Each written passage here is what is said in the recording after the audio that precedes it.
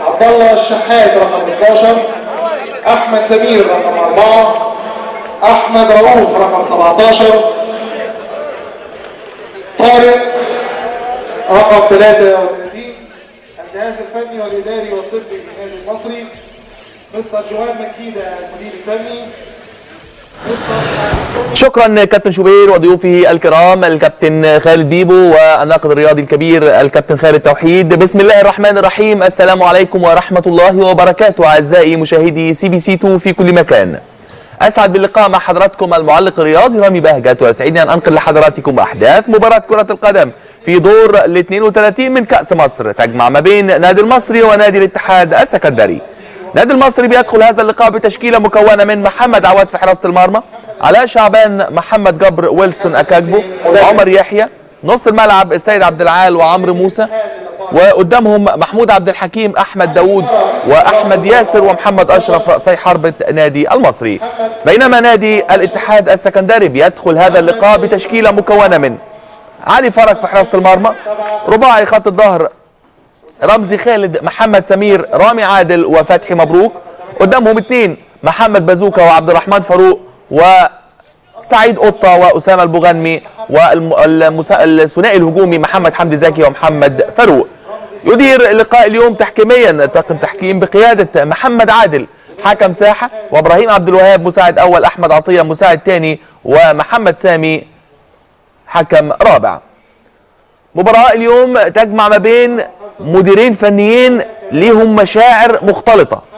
الاثنين دربوا الفرقتين التانيين. يعني مكيدة درب الاتحاد وحسام درب المصري. وكان ليه صولات وجولات هنا وده كان ليه صولات وجولات هنا. اذا هنشوف النهارده بقى يا ترى يا هل ترى نادي المصري ولا نادي الاتحاد السكندري مواجهة من العيار الثقيل. مباراة لو في الدوري الممتاز هيبقى فيها كلام وكلام كتير جدا جدا. سعيد قطة النهارده أول مشاركة ليه مع نادي الاتحاد السكندري. هنشوف بقى ونتابع هل نادي الاتحاد ولا نادي المصري. 90 دقيقة كروية هنشوف ونتابع فيها هذا اللقاء والحوار الكروي الجميل. نتوقع مباراة في منتهى الروعة والإمتاع. محمد حمدي زكي لاعب نادي الاتحاد بالنسبة للاتحاد بالزي الأبيض ونادي المصري بالزي الأخضر في هذا اللقاء. المباراة هي مباراة المصري. فاللي بيغير هو الاتحاد. ليه مباراه المصري قرعة. يعني مفيش حاجة اسمها إن النادي يبقى ليه يلعب بنفس الفانيلا بتاعته إلا لو كان هو صاحب الأرض. طب الكاس مباريات الكؤوس بتبقى قرعة. اللي يتشد اسمه الأول يبقى هو ده صاحب الملعب. لكن الحقوق واقتسام عائد المباريات دي مفيش فيها كلام. ضربة حرة مباشرة لنادي الاتحاد السكندري. هنشوف بقى ونتابع. أكتر من لاعب من نادي الاتحاد مميزين جدا بالتسديد من خارج منطقة الجزاء. شايف أنا رامي عادل؟ لكن رامي عادل لما بيسدد بيسدد من مكان بعيد. هل يا ترى بقى رامي عادل ولا فتحي مبروك هو الأقرب؟ وأدي التسديد ولكن في الشباك من الخارج. في الشباك من الخارج وهناك فرق كبير جدا بين الشباك من الخارج والشباك من الداخل. عملها أسامة البغنمي عملها أسامة لكن موصلها وقافل زاويته الضيقة تمام محمد عواد وواقف ساند على العارضه عشان كده ما بذلش فيها مجهود لأنه هو ساند على العارضه وطالما ساند على العارضه يبقى مأمن أي حاجة بعد كده تيجي على شماله تبقى بره الملعب. على طول توصل الكورة للنادي المصري ناحية اليمين علاء شعبان أمامية طويلة تترد من نادي الاتحاد مرة ثانية توصل للمصري في نص الملعب. استلام من عمرو موسى. يلعبها بينيه للسيد عبد العال عمرو موسى مرة ثانية تمريرة لو اتقطعت تعمل خطورة لو نادي الاتحاد بيضغط بيعمل بريس بدري جدا يحاول يضغط على نادي المصري من بدري. ودي السياسة اللي بتبعها حسام حسن. بيعمل ضغط على الخصم وبيعمل تأمين دفاعي وهجمات مرتدة وبتمشي وبتيجي معاه بشكل كويس مميز جدا في الهجمات المرتدة. نادي الاتحاد السكندري وتحديدا مع العميد مع حسام حسن. تدخل قوي. عمرو موسى. ترجع ورا الكورة لمحمد جبر. مرة تانية عمرو موسى. في نص الملعب عمرو. بيدور هيلعب لمين؟ يرجع ورا لويلسون اكاجبو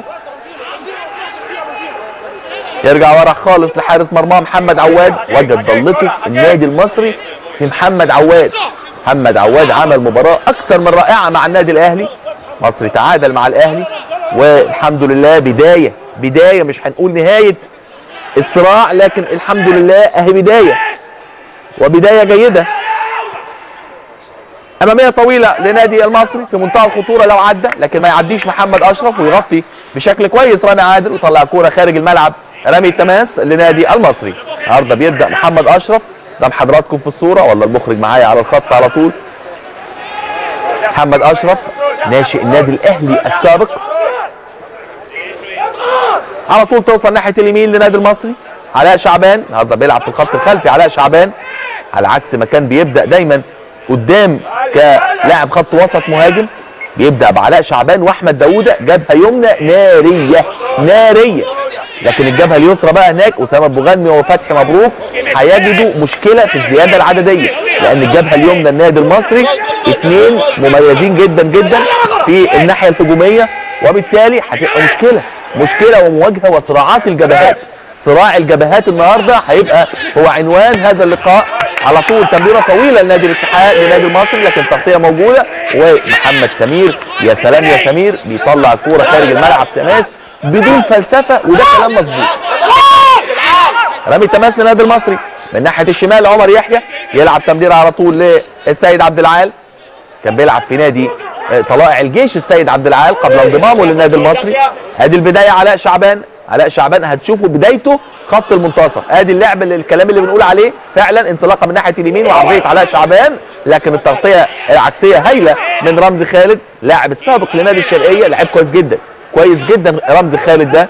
أثبت كفاءة وجداره المصر النصر متقدم على المعادي واليخت بهدف مقابل لا شيء. ده منظور حتى الآن متعادل مع الواسطة. بدون أهداف. والمصري هنا والاتحاد تعادل سلبي بدون أهداف. ثلاث مباريات بيقاموا في نفس التوقيت. كل المباريات مع حضراتكم. كل المباريات قدام حضراتكم على الشاشة. وبنتابع أول بأول. ولو جت أهداف هنجيبها على الهواء مباشرة. يعني اللي عايز يتابع أي مباراة معانا هنا. ادي المحاولة محاوله التسديد. لكن هنا في إعاقة وضربة حرة مباشرة. ادي خوان كارلوس ماكيدا. خوان خوسيه ماكيدا خوان كارلوس جاريدو خوان خوسيه ماكيدا اثنين أسبانيين. ادي هنا بقى بيعلق رجله وضربة حرة مباشرة. دي بقى بتاعت رامي. دي تسديدات رامي عادل. رامي عادل من المكان ده مميز جدا.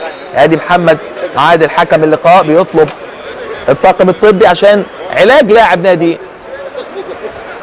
المصري. هنشوف ونتابع أو نادي الاتحاد.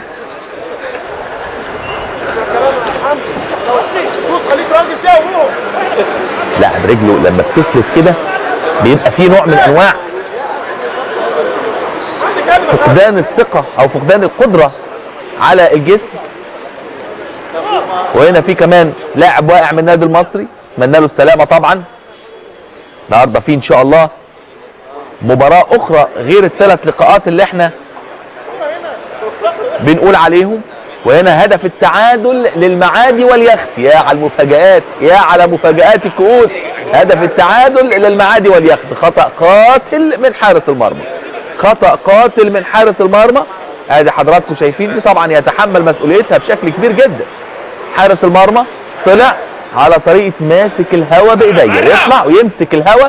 ولاعب نادي المعادي لا يجد صعوبة في إيداع الكورة في مرمى نادي النصر تعادل إيجابي. ورامي رامي بيسدد لكن تخبط في الحائط البشري.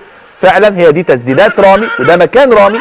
مقطوعه الكورة توصل لنادي الاتحاد السكندري وانطلاقة من ناحية الشمال. تتلعب في نص الملعب بينية كده عايز يلعبها البازوكا لكن مقطوعة يضغط ويجيبها نادي المصري. هجمة سريعة حلوة الكورة. ناحية اليمين داوودة في مساحه هايلة لعبد الحكيم. عرضية داخل منطقة الجزاء لكن يطلع على طول. يمسك يمسك حارس المرمى كعبوشة بيتعادل للمعادي واليخت هو اسمه كده على فكرة كعبوشة. في أسماء شهرة كده ليه اللاعبين ما تستغربوش ما في بازوكا عندنا في الملعب وفي قطة. يعني كعبوشة ما فيش فيها مشكلة. انطلاق على طول من ناحية الشمال لنادي الاتحاد السكندري فتحي مبروك يفتح الملعب ناحية الشمال. أسامة البوغنمي عامل في جبهة يسرى قوية جدا أدي انطلاقة خطيرة عرضية تخبط وتطلع ضربة مرمى. خبطت الكورة آه لكن الكورة كانت عدت من قطة من ناحية الشمال. قطة. سعيد قطة. أول مباراة يلعبها ضد المصري سبحان الله. أول مباراة يلعبها بعد القيد تكون ضد نادي المصري ناديه عواد المنتقل من نادي الإسماعيلي على سبيل الإعارة. وليتها كانت شراء. طبعا ده لسان حال جميع جمهور بورسعيد الجميل. طبعا محمد عواد أثبت كفاءة كبيرة جدا جدا في أول مباراة شارك فيها مع النادي الأهلي. تحضير لنادي المصري. وأدي التمريره ناحية اليمين. انطلاقه في الجنب اليمين عن طريق أحمد ياسر. أحمد ياسر اللاعب السابق لنادي وادي دجلة. وادي واحدة حلوة على حدود منطقة الجزاء. انطلاق اختراق من محمود عبد الحكيم الحاوي يفشل في استلام الكورة. توصل تاني لنادي الاتحاد السكندري. فتحي مبروك يرجع ورا لرامي عادل. رامي عادل بيعمل تمريرة طويلة جدا في نص ملعب نادي الاتحاد لكن مقطوعة تاني لنادي المصري. انطلاقه في الجنب اليمين شعبان. عايز يطلع في الجنب اليمين لكن محمود عبد الحكيم ما يطلعش. محمود عبد الحكيم واخد الجبهة اليمنى وداوودة واخد الجبهة اليسرى. رمي التماس للنادي المصري. بيدور شعبان هيلعب لمين؟ ويتقدم نادي النصر مرة ثانية ادي العرضية داخل منطقة الجزاء. أحمد الصعيدي بيسجل الهدف الثاني لنادي النصر. هنجيب لحضراتكم الهدف. على الهواء. ادي اللعبة ادي نادي النصر والمعادي 2 1 سبحان الله سبحان الله. يعني كان من دقيقتين 1 0 بعد دقيقتين بقت 2 1 يا على المباراة. ادي اللعبة مرة تانية وادي الانطلاقة والعرضية والمتابعة. هي هنا برضو غلطة حارس المرمى. يعني النهارده مباراة عنوانها أخطاء حراس المرمى للفريقين. اثنين نادي النصر واحد المعادي واليخت. دمنهور حتى الآن بيعاني مع الواسطة تعادل سلبي بدون أهداف. بينما نادي المصري والاتحاد تعادل سلبي بدون أهداف. التحضير لنادي الاتحاد السكندري وادي الانطلاقة في الجانب الأيسر سعيد قطة. قطة عايز يعدي لكن تشتيت من عمرو موسى. يطلع ويبعد الكورة توصل لفتحي مبروك؟ فتحي مبروك بيعمل تمريرة طويلة استلام من محمد فاروق. توصل في نص الملعب لعبد الرحمن فاروق. مرة تانية تمريرة ناحية الشمال. قطة. هنا واضح الدور المحوري اللي هيقوم بيه قطة في هذا اللقاء. أمامية طويلة. لنادي الاتحاد السكندري لكن مغطي بشكل كويس قوي عمر يحيى ويوصلها لبر الأمان والسلامة وتطلع خارج الملعب. ضربة مرمى آدي أحمد داوودة. قطار سريع منطلق سواء من ناحية اليمين أو من ناحية الشمال. يلعب في الجنبين على فكرة. وآدي بقى لاعب محمد أشرف. ناشئين النادي الأهلي وانتقل لنادي بتروجيت ورجع تاني على نادي المصري. من اللاعبين الكويسين جدا على فكرة محمد أشرف ده. لكن ما أخدش حظه. أدي محمد أشرف اللي في رجل الكورة. انطلق اخترق من ناحية الشمال اتزنق لقى نفسه يا سلام ما يقاوحش يلعب لداوودة داوودة حلوة في نص الملعب. ممكن التمرير على طول السيد عبد العال على حدود منطقة الجزاء اتقطعت منه. توصل تاني لنادي الاتحاد السكندري. وأدي تمريرة طويلة جدا في اتجاه محمد فاروق بنزيما. لكن ضغط موجود من محمد جبر ويطلع الكورة ويبعد الخطورة. توصل ناحية الشمال تاني عند انت- آه، أحمد داوودة. داوودة يا سلام يا داوودة. بيعدي بشكل كويس عدى من بازوكا. ودي انطلاقة في الجنب الشمال لكن بعيدة جدا. بعيدة جدا. هيلحق الكورة دي إزاي؟ صعب جدا. صعب جدا طبعا يلحق الكورة دي. تطول وتوصل لنادي الاتحاد السكندري.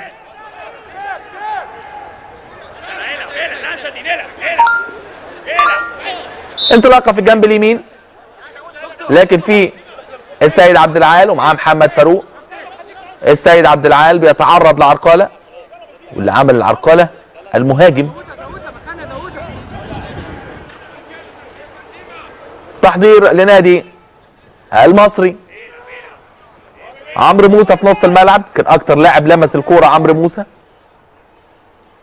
يلعب لمحمد جبر لعمرو موسى.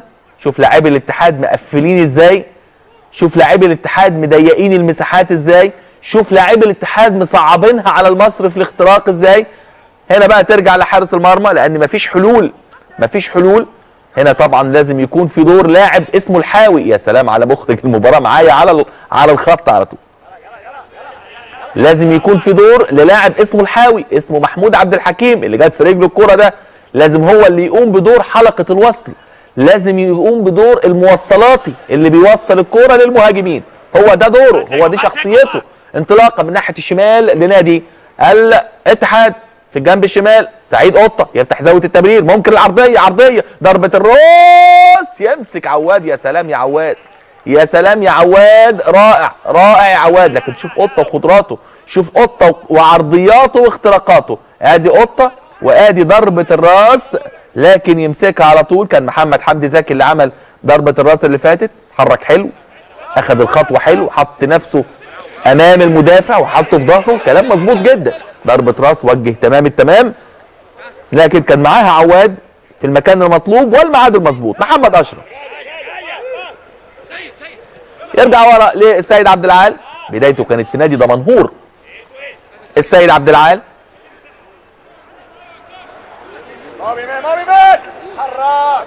عمرو موسى. يلف حوالين نفسه عمرو موسى. ويلعبها للسيد عبد العال مرة تانية اللي بيعمل أمامية طويلة أطول من اللازم توصل سهلة لحارس المرمى. علي فرج.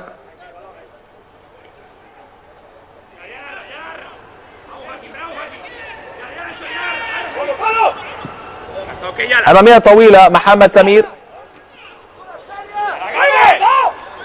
تترد في نص الملعب مرة تانية توصل لقطة سعيد قطة يعمل تمريرة لكن مش مظبوطة يا قطة تطول وتطلع لحارس المرمى محمد عواد. اللي بيدور هيلعب لمين عواد؟ أحد لاعبي منتخب الشباب عواد لكن ما لعبش مع المنتخب الأول. عنده مساحة كمان يعمل.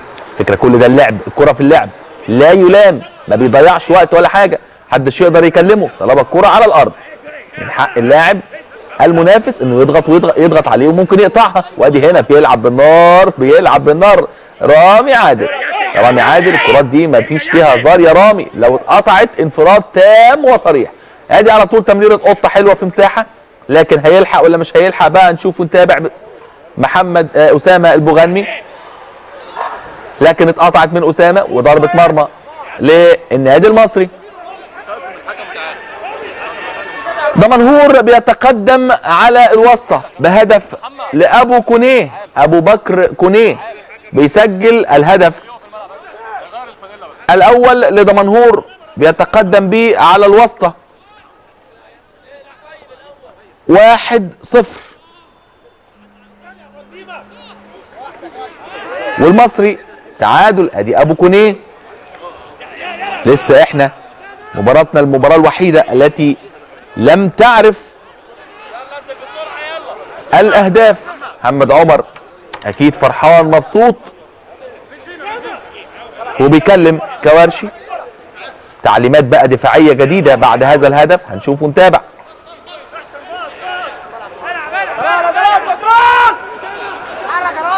ادي اللاعب رقم 27 عمر يحيى. اللي واضح كده إن هو حاطط قطن على آه، في بقه يعني في إصابة في اللثة أو في في الفم. اتمنى له السلامة طبعا عمر يحيى. ناحية الشمال عمر. لعبها بينية على طول. توصل الكرة لعمرو موسى اللي بيعمل أمامية طويلة جدا مقطوعة من دفاع نادي الاتحاد. أدي داوودة هنا بقى الحاوي محمود عبد الحكيم. محمود عبد الحكيم كان أحد لاعبي منتخب مصر لكرة القدم الخماسية ولاعب سابق في نادي بتروجيت. انطلاقة هايلة داوودة داوودة فتح جبهة حلوة وادي الممكن العرضية لكن هنا في راية وصفارة تسلل على محمد أشرف اتأخر سنة أتأخر سنة في التمرير داوودة هي دي هي السنة اللي عمل رجله فوق الكرة دي هي دي اللي خلت الراجل في موقف تسلل.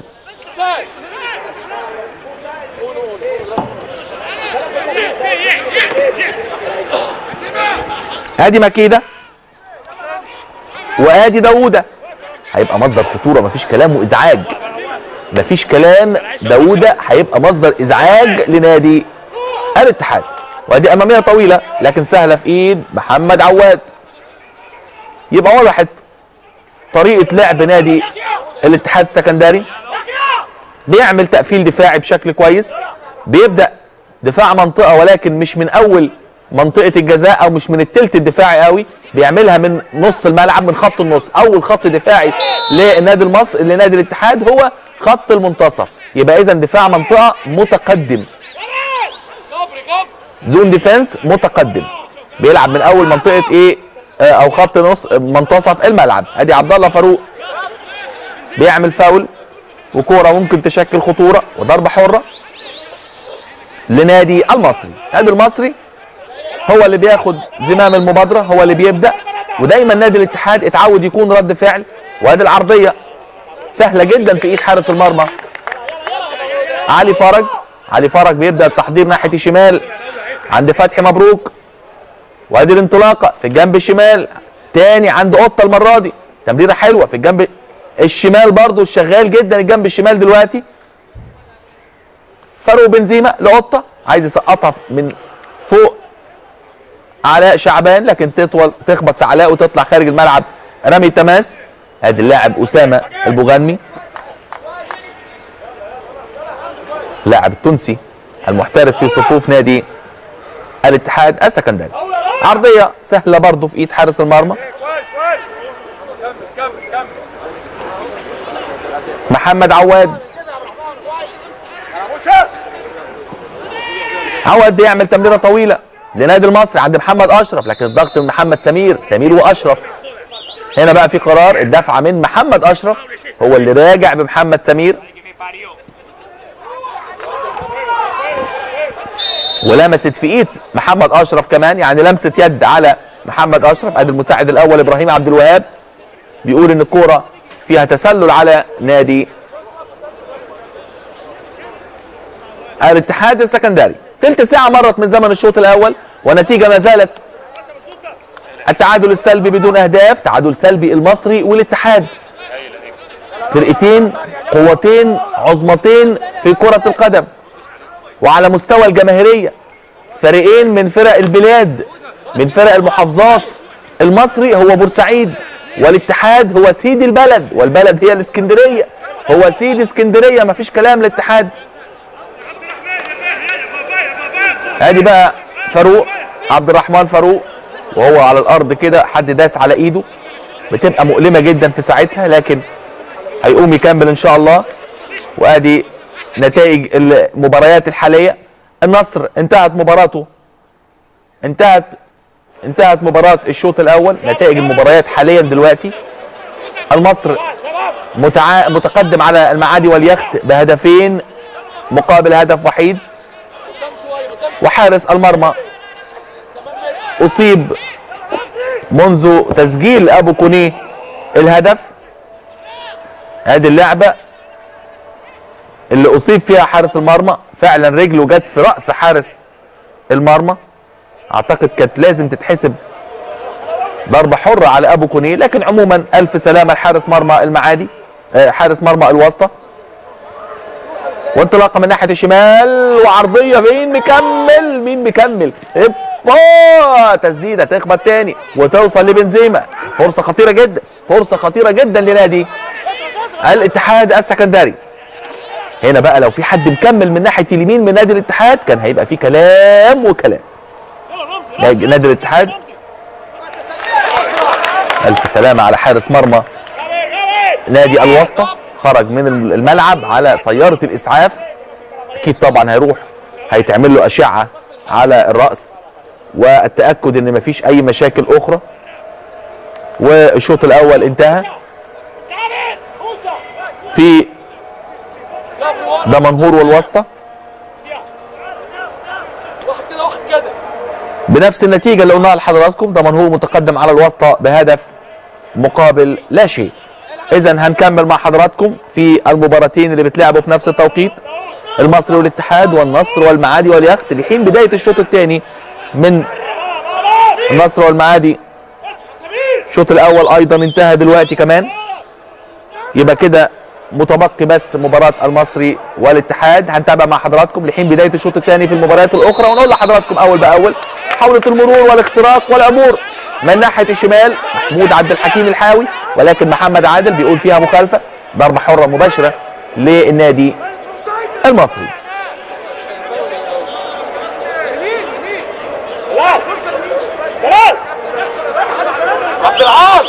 ما زال واقع محمود عبد الحكيم اتمنى له السلامة. أدي الدفعة من محمد حمدي زكي واضحة جدا. بتعترض على إيه يا محمد يا حمدي؟ بتعترض على إيه يا حمدي يا زكي؟ واضحة جدا طبعا. هنا بقى ضربه حرة يلعبها الحاوي. شوف الكثافة العددية الهجومية كبيرة جدا. 2 4 6 مهاجمين من النادي المصري. ست مهاجمين من النادي المصري. 2 4 6 7 مدافعين. أدي العرضية داخل المنطقة ويطلع بالبوكس على طول علي فرج. لسه فيها كلام. ويلسون اكاجبو بيسدد لكن تخبط وتطلع خارج الملعب. ضربه ركنيه آدي ويلسون اكاجبو وضربه ركنيه لنادي المصري هو أخصائي وأستاذ ورئيس قسم الضربات الثابتة محمود عبد الحكيم هو اللي رايح يلعبها.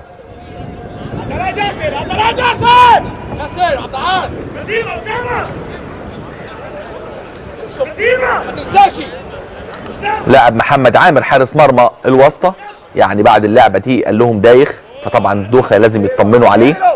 طمن الناس طبعا إن شاء الله يكون مفيش حاجة لكن ده أمر احترازي داخل منطقة الجزاء محاولة خطيرة جدا ويطلع دفاع نادي الاتحاد. هنا بقى الهجمات المرتدة اللي بيلعب عليها نادي الاتحاد السكندري بيعتمد على آه، محطة كويسة القطة لأنه ما بيرجعش يدافع في الكرات العالية ملوش في الكرات العالية. بيعمل الهجمة المرتدة بتتلعب على قطة بيعمل كمحطه بيستلم ويستنى ال ال الارتداد من حالة الدفاع لحالة الهجوم بسرعة. هي دي اللعبة اللي بيعتمد عليها حسام حسن دلوقتي غير عملية بناء الهجمة بالتدرج السليم تحضير ثم تطوير ثم إنهاء وادي ضربه حرة أسامة البوغنمي. يلعب العرضية داخل المنطقة لكن يطلع دفاع النادي المصري وفي قرار في مخالفة. ضربه حرة للنادي المصري الأكثر سيطرة الأكثر استحواذ الأفضل نسبيا حتى الآن لاعبي النادي المصري. ادي مكيدة وحسام حسن وحوار من نوع خاص. الاثنين من المديرين الفنيين اللي ما يحبوش يخسروا ابدا. طبعا ما حدش بيحب يخسر ولكن الاثنين دول عند عندهم الحتة دي زيادة قوي. والاثنين من أصحاب مدرسة الروح. اللي دايما يحب يبث في اللاعبين الروح العالية جدا. لكن حسام بيتفوق شوية عنه لكن برضه مكيده من المديرين الفنيين اللي عندهم الحتة دي. أدي محمد فاروق بنزيما اتنين ضاغطين عليه قطعوا الكورة. داوود بيحاول يسيطر على الكورة لكن في مخالفة. ضربة حرة مباشرة للنادي المصري. محمد عادل بيحتسب المخالفة جنب اللعبة تماما تماما. أدي داوود فعلا فيها مخالفة. قبل ما توصل لعبد الله فاروق كان رمزي خالد عامل العرقلة والإعاقة والضربة الحرة للنادي المصري السيد عبد العال بيقول هلعب لمين؟ يلعب واحدة طويلة جدا في اتجاه محمد أشرف لكن كالعادة رامي عادل متألق في الكرات العالية. مرة تانية رمزي خالد وحوار ثنائي بينه وبين محمد أشرف يتفوق رمزي خالد لكن في صفارة. ضربة حرة مباشرة للنادي المصري. كترت الضربات الحرة للمصري على حدود منطقة الجزاء وكترت الخطوره بسرعة عشان تقطع لا لين يا لا لين يا بره عشان تيجي هنشوف بقى محمود عبد الحكيم متخصص الضربات الثابتة أكيد هو اللي هيلعب. وأدي ويلسون اكاجبو طالع وطالع محمد جابر وكل رواد الفضاء في الكرة البورسعيدية طالعين.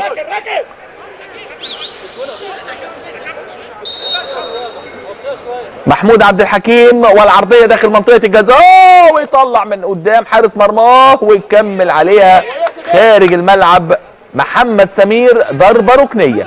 لكن الكرة اللي فاتت دي في منتهى منتهى الخطورة يا رامي عادل. تتلعب الكرة بسرعة ضربه ركنية تولد تولد. هنا بقى الهجمة المرتدة السريعة. هيعملوها إزاي؟ تولد دي برضه دي تولد برضه. لسه بنقول يا أبو غنمي هتعملوا الهجمات المرتدة إزاي؟ أبو غنمي طولت منه الكرة سنة وهو بيزق الكره وبيعمل ال dribbling والجري بالكورة. مهاره الجري بالكورة من المهارات الهامة جدا للاعب كرة القدم. أهم حاجة الكورة وهي بتجري. ما تبعدش عنك. مقطوعة خطيرة جدا. محمد أشرف اللمه ممكن ممكن ممكن أشرف. ممكن الأول. يا حظك يا أشرف. يا حظك يا أشرف. لكن عملها حلو قوي عملها حلو قوي شوف الأخطاء بتعمل إيه. شوف محمد سمير بيعمل إيه ومحمد أشرف. قلت لكم لعيب كويس. قلت لكم لعيب كويس شوف عدى من واحد وعدى كمان من التاني وعدى تاني من محمد سمير. محمد سمير يعني اتنين في واحد في اللعبة اللي فاتت غلطتين كبار جدا. محمد سمير اللاعب السابق للنادي الأهلي.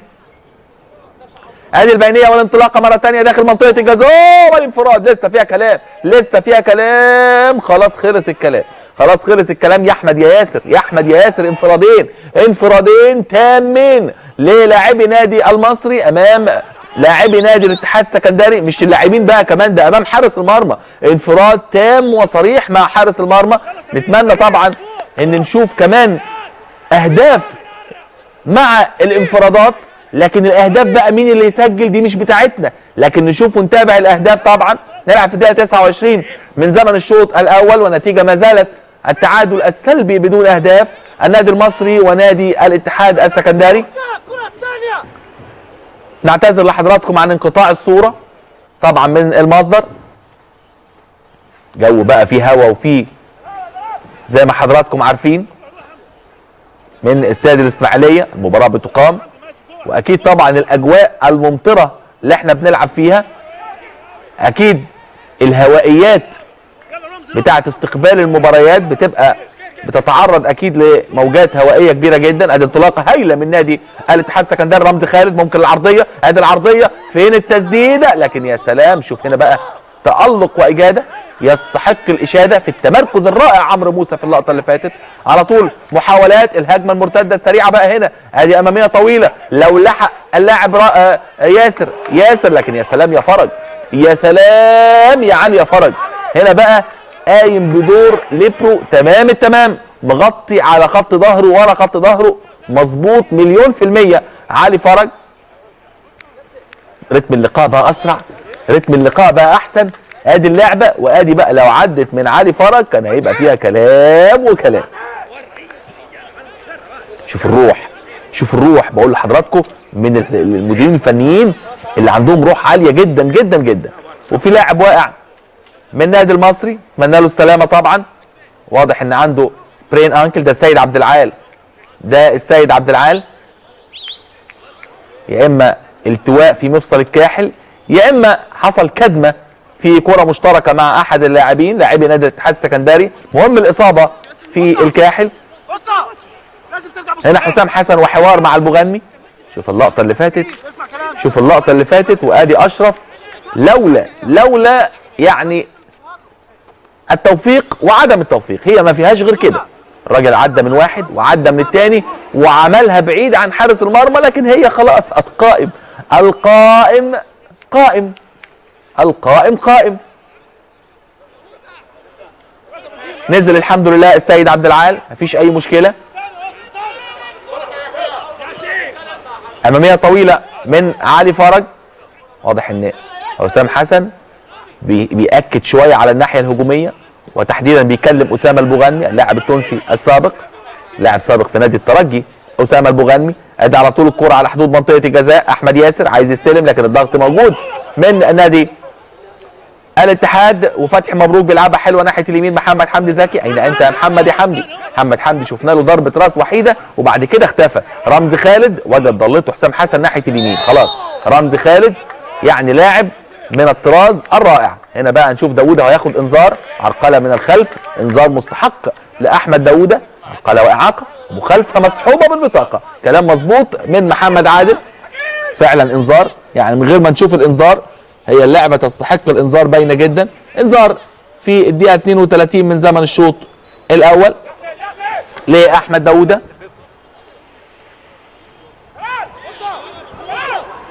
ضربة حرة مباشرة لنادي الاتحاد السكندري من ناحية اليمين. فتحي مبروك بيعملها بشماله. عرضية أرضية غير مرضية وحشة جدا يا فتحي. على طول تشتيت في اتجاه محمد أشرف. واضح إن برضو خطة أداء نادي الاتحاد السكندري بتعتمد على الكرات الطويلة الأمامية لمحمد أشرف اللي بيقوم. ودي خطيرة جدا يا عواد خطيرة جدا يا عواد. عواد ساب أرضه عواد ساب منطقة جزائه. وبالتالي عمل مخالفه كان ممكن ياخد عليها انذار. شوف اللعبة شوف الانطلاقة بتاعت آه، سعيد قطة لكن عمل لعبة فيها تهور شوية عواد. عشان إيه؟ عشان ساب أرضه عشان ساب منطقة جزائه. وكرة ما كانتش تستاهل لأن كان علاء شعبان موجود. ما كانش مستاهلة إن حارس المرمى يطلع. إمتى يطلع حارس المرمى؟ لما تتلعب الكرة في ظهر المدافعين ومفيش حد مغطي. لكن علاء شعبان مع اللاعب ملهاش لازمة طلوعك. يا محمد يعود انت انت حارس كبير ولسه بنشيد بيك. ضربة حرة في منتهى الخطورة والتسديده تخبط في الحائط البشري وترتد وتبقى ضربة ركنية. ضربة ركنية لنادي الاتحاد السكندري. ادي اللاعب محمد جبر. ربطت فيه كورة وطلعت ضربة ركنية. حسام حسن زي ما حضراتكم شايفين في الكادر كده. ما بيبطلش تعليمات وتصليح. دي حركات بقى إيه؟ بتاعت إيه ناشئين. يعني الكلام ده اللي بتصلح له كل شوية أول بأول دي ناشئين لكن هو من المدرسة دي. ادي العرضية داخل المنطقة في منتهى الخطوره! وهنا بقى ضربه ركنيه يا سلام يا عواد. الكورة كانت داخلة المرمى. خلاص من على خط المرمى. بيطلعها محمد عواد. عرضية ركنية في منتهى منتهى الخطورة. مرة تانية ضربة ركنية في أقل من دقيقة.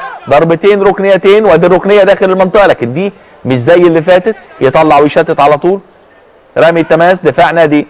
المصري داخل المنطقة تاني محاولة المرور والاختراق والعبور والتسديده من رامي. ولمست في إيد لاعب نادي الم- المصري ومطالبات بركله الجزاء. لكن هنا بقى محمد عادل قال له ممكن تكون لمست في إيده ولكن هنا العبرة إيه؟ هل الكورة هي اللي راحت لإيد اللاعب وإيده ملهاش دعوة ولا إيده هي اللي راحت في اتجاه الكورة؟ هي دي هو ده مبدأ احتساب لمسة اليد أو ركلة الجزاء ما تفرقش. لمسة اليد هي لمسة اليد في أي حتة.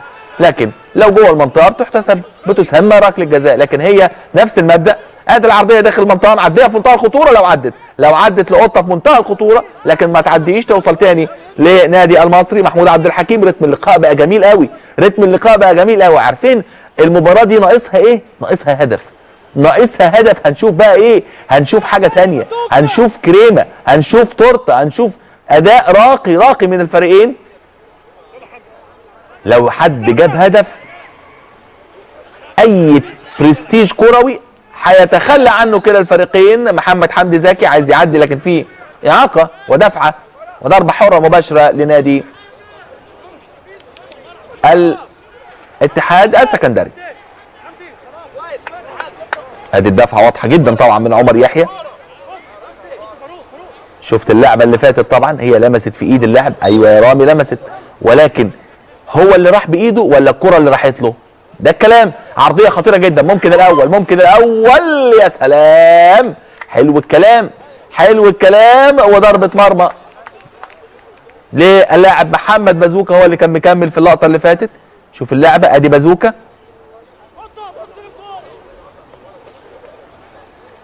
وعملها والله من فوق حارس المرمى ولكن هنا بقى التوفيق وعدم التوفيق. التوفيق وعدم التوفيق هو اللي فصل في اللعبة اللي فاتت. مفيش توفيق يا بازوكا.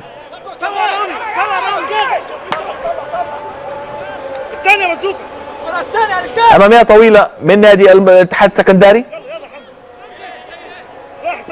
اعارات بقى في موسم الانتقالات الشتوية للاتحاد والنادي المصري. أكيد مفيدة وأكيد موجودين. بازوكا نادي الزمالك باص وقطه من المصري وبيلعب أول مباراة ضد المصري. انطلاقة من قطه من ناحية الشمال. في بعض المديرين الفنيين كده بيبقى آه، يعني ما تعرفش مش مقتنع بلاعب. اللاعب نفسه ما أقنعوش نشوف اللعبة دي ونكمل. أدي انطلاقة حلوة من ناحية اليمين محمد حمدي زكي داخل المنطقة. عرضية أرضية غير مرضية.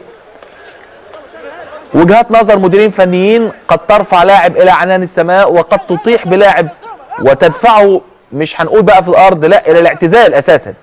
بعض اللاعبين كده من كتر ما يزهق من عدم تواجده على المستطيل الأخضر أو حتى في ال 18 قد يلجأ إلى اعتزال كرة القدم. ولكن مدير فني آخر يرفع بلاعب إلى عنان السماء.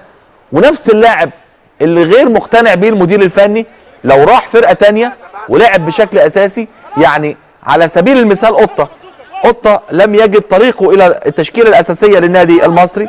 لما بيروح وهيروح نادي زي الاتحاد السكندري أنا أتوقع ادي اللعبة اللي لمست في إيد اللاعب طبعا لمست في إيده لكن الوضع التشريحي بتاع إيد اللاعب إن هي كانت جنبه. توقع نجاح كبير جدا لقطة مع نادي الاتحاد السكندري. وقد يعيد التفكير فيه مكيدة لو استمر مع النادي المصري في الموسم القادم. داوودة عمرو موسى. أمامية طويلة من عمر يحيى تترد مرة تانية من محمد سمير في نص الملعب. مخالفة وضربة حرة أسامة البوغنمي.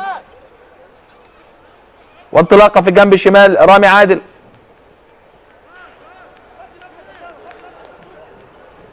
أسامة البوغنمي. مرة تانية رامي. تمريرة طويلة نكمل من ناحية اليمين. عبد الرحمن فاروق ولكن تطول من عبد الرحمن ما يلحقهاش عبد الرحمن وتطلع خارج الملعب. تماس للنادي المصري. يتلعب رمية التماس يرد تاني عبد الله فاروق عبد الرحمن فاروق.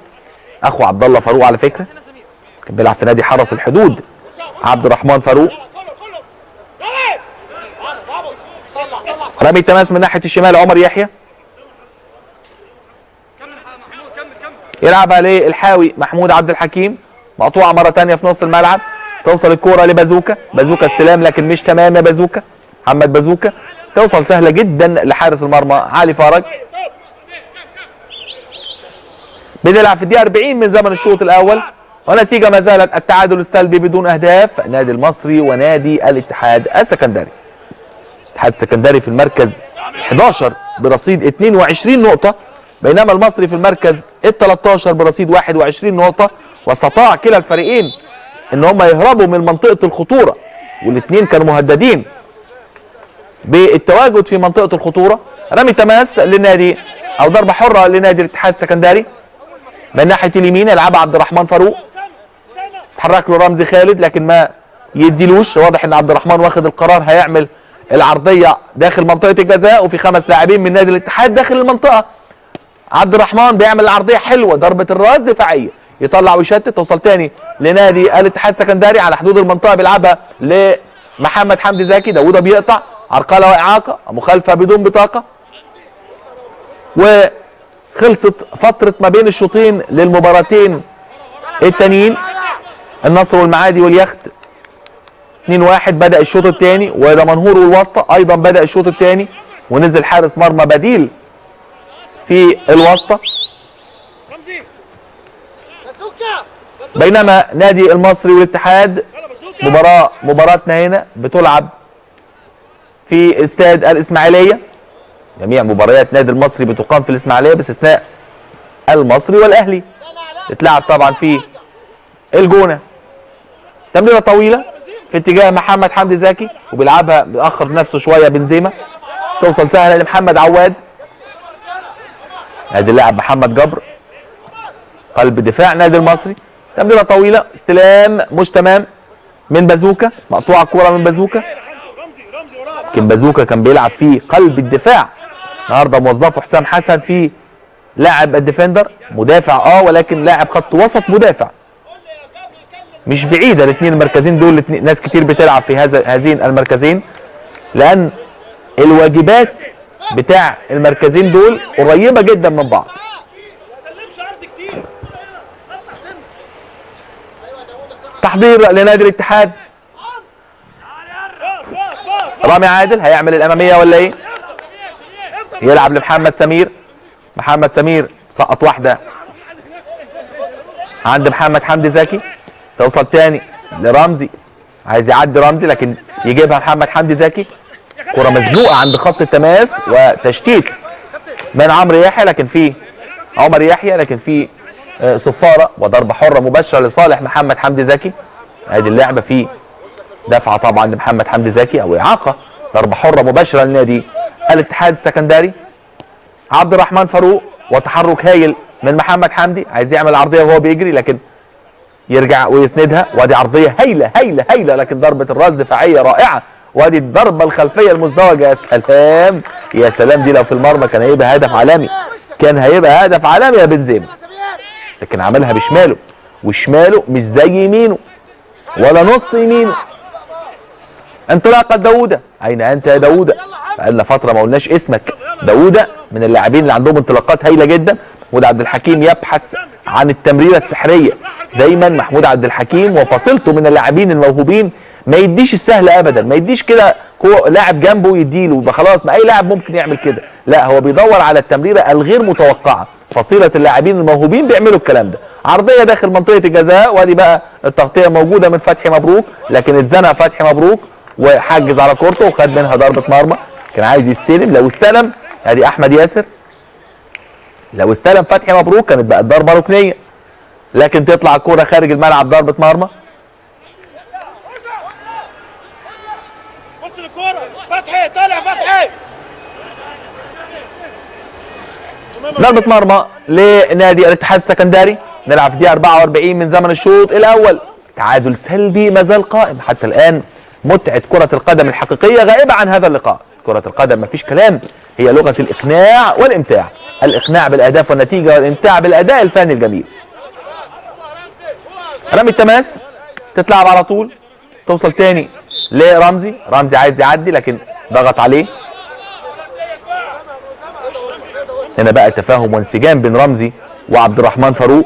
لما بي بي بي- بينطلق رمزي بيغطي وراه عبد الرحمن فاروق وبيفتح له مساحة عشان يعمل ينطلق فيها على الخط. ادي رمزي وادي العرضية داخل المنطقة. هنا بقى بنزيما معدية في منتهى الخطورة عند البوغانمي. أسامة البوغانمي هيعمل إيه أسامة؟ بيقرب له قطة. عايز يمرر القطة لكن مش عارف. مرة تانية بيلف ويعمل العرضية يا ولد يا ولد يا أسامة. لعب كويس لعب كويس مفيش كلام. ادي انطلاقة مرة تانية لنادي الاتحاد السكندري لكن حكم اللقاء قال له قوم يا بازوكا. ما فيهاش حاجة يا بازوكا. أدي محمد بازوكا. تطول الكرة وتطلع خارج الملعب ضربة مرمى لنادي المصري. الدقيقة الأخيرة من الوقت الأصلي لزمن الشوط الأول. تعادل سلبي ما زال قائم. أعتقد شوط أول مش هنشوف فيه أكتر من دقيقة وقت محتسب بدل من الضايع لأن مفيش فترة توقف كبيرة حصلت في الشوط الأول. يعني بمعنى أصح الشوط الأول هينتهي بنفس هذه النتيجة. أدي بقى هنا صفر. مش عارف صفر دي هي فعلا بجد ولا الراجل ما خدش باله؟ دقيقة يا راجل. يا راجل قلت لك دقيقة. يا راجل أنا قلت لك دقيقة أنت عملت صفر وبعد كده عملت ثلاثة لكن طبعا هي دقيقة واحدة وقت محتسب بدل من الضايع. واضح إن في مشكلة. محمد سامي الحكم الرابع مع الأرقام. أيوه كده. كلام مظبوط يا سامي. كلام مظبوط يا سامي. محمد عادل قال لك دقيقة واحدة. رمي التماس لنادي المصري. ولكن ضغط موجود. داوودة تطلع مرة تانية خارج الملعب. رمي التماس. خلاص بنلعب في الدقيقة المحتسبة وقت بدل من الضايع. وما زال التعادل السلبي قائم. نادي المصري ونادي الاتحاد. حسبها ضربة حرة محمد عادل. تتلعب الضربة الحرة على طول لعند داوودة تاني ومعاه رمزي. يلعب داوودة لكن تخبط في محمد حمدي زكي وتطلع خارج الملعب. رامي التماس محمد حمدي زكي كان لاعب سابق مع منتخب مصر للشباب. لو تفتكروا حضراتكم. ويطلق حكم اللقاء. محمد عادل صافرته معلنة نهاية أحداث الشوط الأول بالتعادل السلبي بدون أهداف النادي المصري ونادي الاتحاد السكندري. أعزائي مشاهدي سي بي سي 2 في كل مكان إلى اللقاء باحداث الشوط الثاني إن شاء الله والسلام عليكم ورحمة الله وبركاته.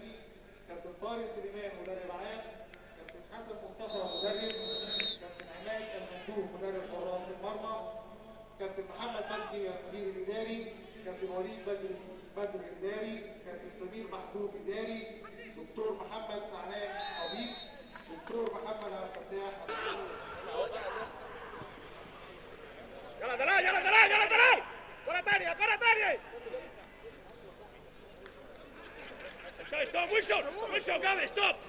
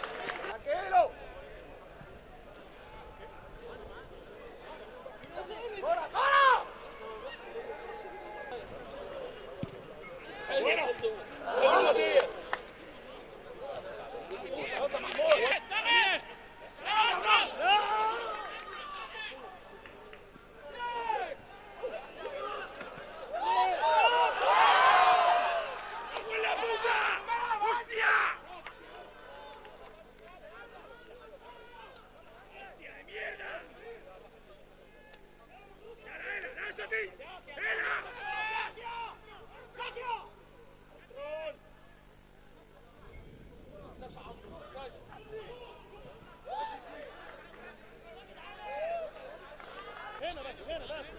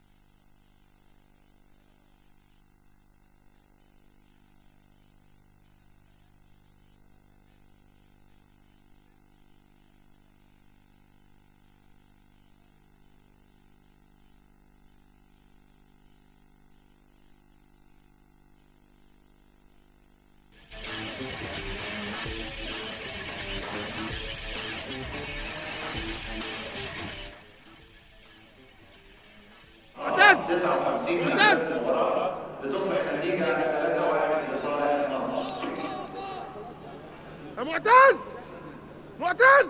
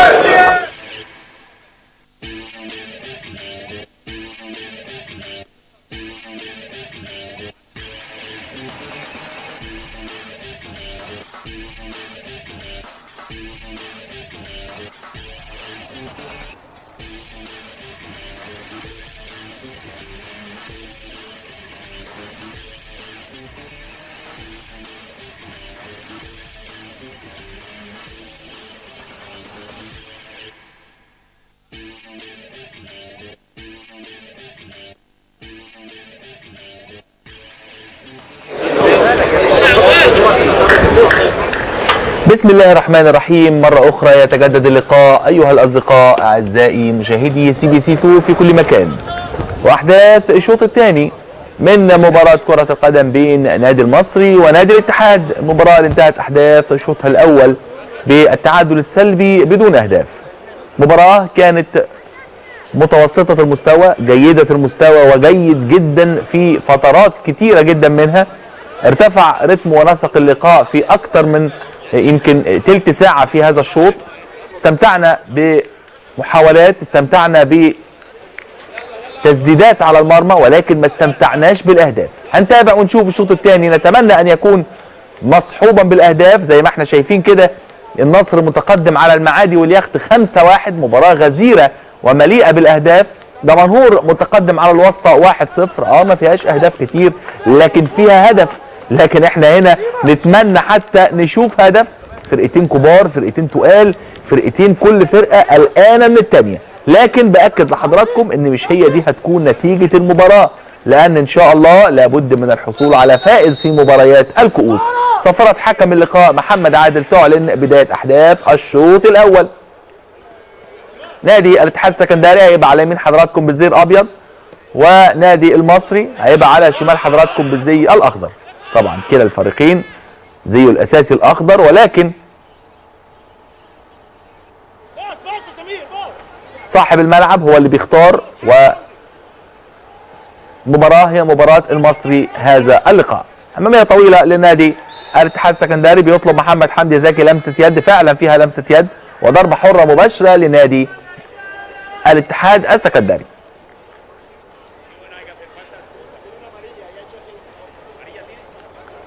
ضربة حرة لنادي الاتحاد؟ نادي الزملاء حيطه في استاد الإسماعيلية وادي العرضية داخل منطقة الجزاء سهلة في إيد عواد. مسكته حلوة للكورة. عواد لما بيطلع كده بيمسك الكورة بطريقة تطمن. في بعض الحراس بيمسك الكورة وتحس إن الكورة الحمد لله ما وقعتش المرة دي. يا ترى المرة الجاية هتقع ولا هتمشي؟ يعني آه، ده مسكته كويسة جدا عواد للكوره حارس مرمى حارس مرمى الحقيقة. عرقله واعاقه من قطة وضربة حرة مباشرة لنادي المصري. علاء شعبان بيلعب النهارده back يمين لكن عنده قدرات هجومية بيلعب أساسا في الجنب اليمين كلاعب خط وسط أيمن. ولكن هنشوف النهارده موظفه مكيدة back يمين عشان يستفيد من قدراته الهجومية وكمان يستفيد من قدرات لاعب زي أحمد داوودة ومحمود عبد الحكيم في الجنب اليمين. داوودة بيلعب شمال وعبد الحكيم بيلعب في العمق وبيميل ناحية اليمين وبيدي الخط كله لعلاء شعبان. لما بيضغط لما بيخش محمود عبد الحكيم بيلعب في القلب. بياخد الخط كله علاء شعبان. هو متميز لما كان بياخد من نص الملعب بس. هنشوف بقى النهارده بيوظفوا آه، مكيدة في الجنب اليمين كله. كباك يمين. حتى الآن الأمور ماشية. بالنسبة لعلاء شعبان لكن بعد كده إيه اللي هيحصل؟ هنشوف ونتابع. ضربة حرة للنادي المصري والبداية لنادي المصري هجومية وقوية. عبد الحكيم الحاوي عرضية مش معدية مقطوعة توصل لنادي الاتحاد السكندري. انطلاقة من قطة. قطة بيعدي بيعمل sprint حلو واضح إن هو عنده آه، يعني جاي جاهز. جاي جاهز بدنيا. تفرق كتير جدا اللي جاي لك ما بيلعبش ده ويكون جاهز بدنيا تبقى ميزة كبيرة جدا ميزة كبيرة جدا لأي مدير فني بيجيب لاعب جديد ويكون اللاعب ده جاهز بدنيا. على طول بيشتغل معاه تكتيكي بس وشغل خططي بس. آدي رايه وصفارة تسلل على نادي المصري البورسعيدي. طبعا بنقول المصري البورسعيدي لأن في مصري قاهري هنا في القاهرة. آدي المساعد الأول إبراهيم عبد الوهاب وضربة حرة مباشرة غير مباشرة لنادي الاتحاد السكندري تلعب على طول لكن بتترد سهلة. لحارس المرمى محمد عواد. عواد هيعمل الاماميه الطويلة. بتوصل في نص ملعب نادي الاتحاد لكن يرد فتحي مبروك بضربة راس. عاليه في نص الملعب أسامة البوغنمي اللاعب التونسي صاحب ال 25 سنة مواليد 5 1 90 أسامة البوغنمي. لعب في اثنين من أكبر أندية تونس. لعب في الترجي التونسي والنجم الساحلي التونسي. رمي التماس تتلعب على طول لنادي الاتحاد السكندري. كان بيشترك في اللعبة اللي فاتت عمر يحيى. back الشمال للنادي المصري. آدي داوودة يلعب لأسامة البوغنمي. لداوودة مرة تانية. بوجه القدم الخارجي. يا سلام على الانفراد. يا سلام على الانفراد. يا بنزيما. يا على الاشتراك. يا على الاشتراك والتوقيت العالمي. يا عمر يا يحيى. عمر يحيى ال back الشمال قفل. وعمل التغطية العكسية وضم لجوه وغطى بشكل أكتر من رائع. أكتر من رائع.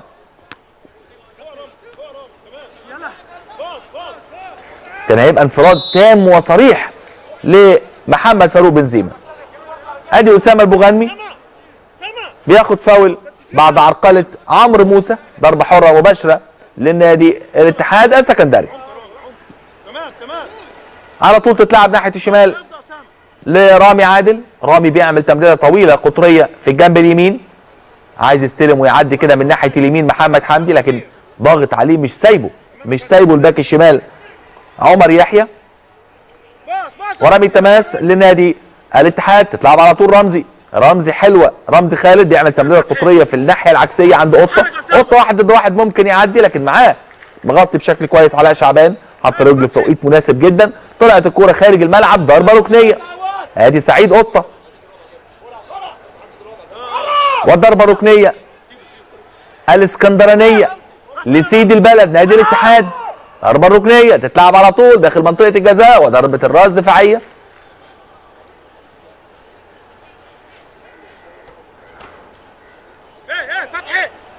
ادي السيد عبد العال. روح فتحي روح. روح فتحي روح. بس. رمي التماس عبد الرحمن فاروق. هات وخد بياخدها مرة ثانية وبيعمل عرضية حلوة ويطلع دفاع النادي المصري ويلسون أكاجبو. داوود الهجمة المرتدة السريعة الحاوي بيلعبها حلوة لاشرف أشرف انطلق اخترق حط رجله يا سلام يا سمير. يا سلام يا سمير توقيتك مثالي. في قطع الكرة اللي فاتت حط رجله في توقيت حلو جدا. قطع الكوره وادي عرقلة لعبد العال. وضربة حرة مباشرة بيعتذر له بنزيما. خد رجله الثابتة. بنيانه الجسدي قوي جدا بنزيما محمد فاروق بنزيما منتقل من نادي مصر المقاصه محمد فاروق. النصر بيرفع رصيده من الأهداف إلى الرقم 6 6 1 كانت 1 0 بقت 1 1 ومن ساعتها الأهداف تتوالى على مرمى المعادي واليخت. يمكن حظه مش كويس المعادي واليخت إنه قابل نادي النصر بعد ما استوى بعد ما استوى طاب واستوى في الدوري الممتاز. وأخذ الخبرات النادي المصري نادي النصر في الدوري الممتاز وبدأ ابتداء كده من الأسبوع العاشر يستعيد توازنه ويقدم مباريات قوية جدا حتى لو خسر بيبقى يعني بحاجة بسيطة جدا. انطلاقه من ناحية الشمال وادي العرضية. فكرنا كده بأداء نادي الرجاء الموسم الماضي اللي استعاد توازنه في الدور الثاني بالكامل وعمل ما يشبه الإعجاز بالبقاء في الدوري الممتاز.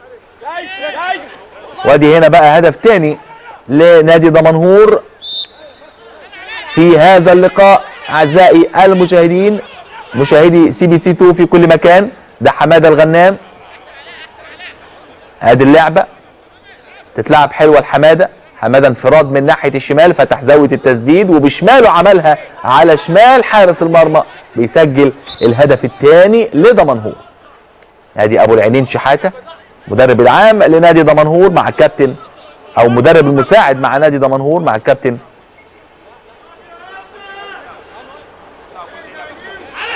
محمد عمر.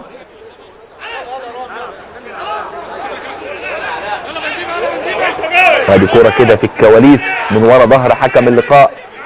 وشعبان كان بيشتكي الحكم اللقاء. أمامية طويلة بنزيما. مقطوعة لكن في راية وصفارة. كان في تسلل زي ما قال المساعد الثاني أحمد عطية. ضربه حرة غير مباشرة. شوف اللعبه مرة ثانية آدي اللعبة. مش عارف الحقيقة التسلل فين. لكن عموما ضربة حرة غير مباشرة. يرد محمد سمير عالية في نص الملعب. توصل الكورة عند عمرو موسى تشتيت من قطة. عالية عند خط المنتصف. محمد فاروق بنزيما لكن السيد عبد العال بيقطع من قدامه ويمرر الكورة لكن ما توصلش لمحمود عبد الحكيم الحاوي وتطلع خارج الملعب رمي التماس لنادي المصري النادي الاتحاد. تحضير في نص الملعب عمرو موسى بيرجع ورا لرامي عادل اللي بيعمل تمريرة طويلة جدا ناحية الشمال. لو عدت تعمل خطورة ما تعديش من الباك اليمين علاء شعبان. واضح إن علاء شعبان هيكون عليه عبء كبير دفاعيا في الشوط الثاني نادي ال- الاتحاد مركز قوي في الجنب اليمين للمصري أو الجنب الشمال لنادي الاتحاد. وانطلاقات بقى الجنب الشمال لنادي الاتحاد عن طريق قطة سعيد قطة. ومثبت فتحي مبروك ما بيكملش ابدا فتحي مبروك في الناحية الهجومية. مع العلم إن إحنا عارفين قدراته الهجومية فتحي مبروك لكن مثبته بيستعد وعامل بيه احتياط حسام حسن لانطلاقات الخطيرة جدا من الجنب اليمين سواء من علاء شعبان ومحمود عبد الحكيم. لكن إحنا شايفين دلوقتي مفيش انطلاقات وعلاء شعبان متثبت. فلو شفنا انطلاق من ناحية الشمال وزيادة عددية من فتحي مبروك مع سعيد قطة في الجنب الشمال أعتقد هنشوف فرص خطيرة لنادي الاتحاد. مشكلة اللقاء النهارده إن الفرقتين خايفين يخسروا. إن الفرقتين عاملين حساب بعض زيادة عن اللزوم شوية.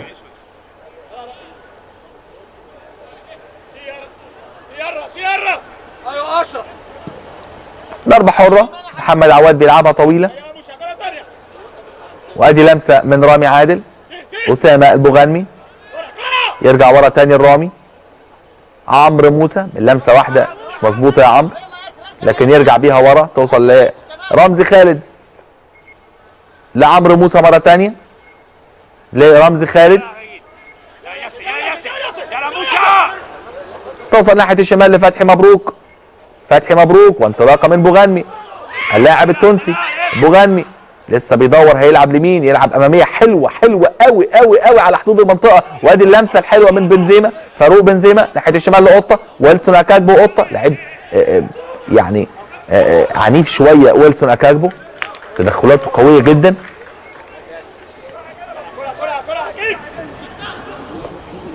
رمي التماس لنادي المصري. تتلعب على طول رمية التماس. سعيد قطة. هنشوف بقى ونتابع. نادي الاتحاد هيعمل إيه؟ دلوقتي مسيطر دلوقتي مستحوذ. لكن يا ترى يا هل ترى؟ هيعمل ويحول هذا الاستحواذ لحاجة إيجابية؟ ده اللي هنشوفه ونتابعه. وادي تمريرة طويلة جدا ناحية الشمال عند قطة. تدخل قوي جدا تدخل قوي جدا مع قطة. وهو واقع كده بيطلب الكارت الأصفر لعلاء شعبان. لكن حكم اللقاء ده الهدف السادس لنادي النصر. وهو هو برضه نفس اللاعب.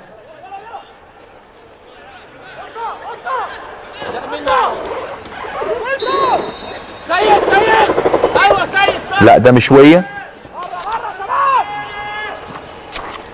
ادي العرضية لنادي الاتحاد السكندري. تخبط على طول وتطلع خارج الملعب. يطلعها خارج منطقة الجزاء. يطلع على طول حارس المرمى.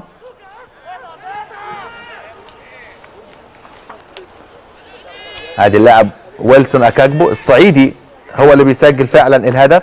أحمد الصعيدي بيسجل الهدف السادس لنادي النصر.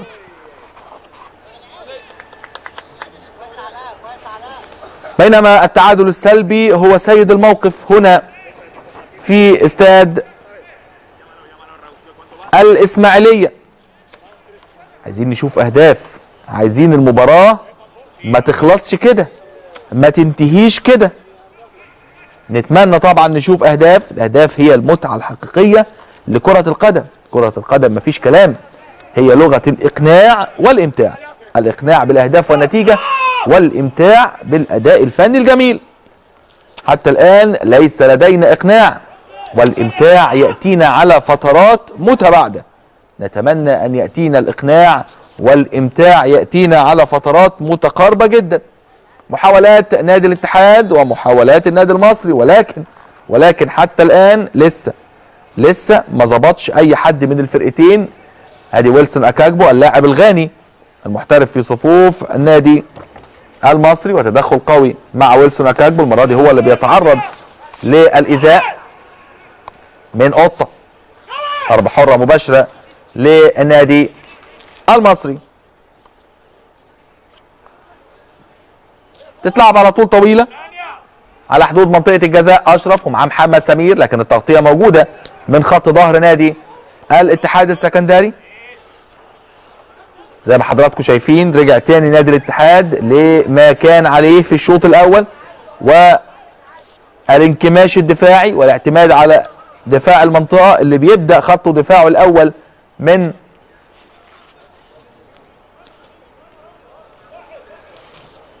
منطقة خط المنتصف.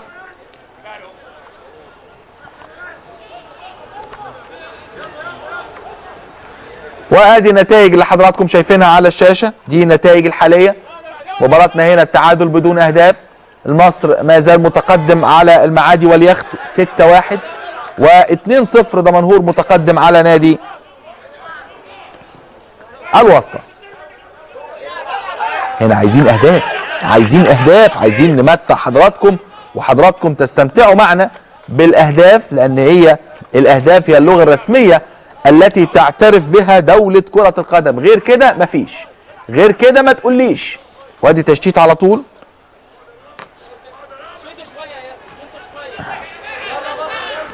تطلع كوره خارج الملعب. رامي تماس رامي تماس تاني لنادي الاتحاد السكندري من ناحية الشمال.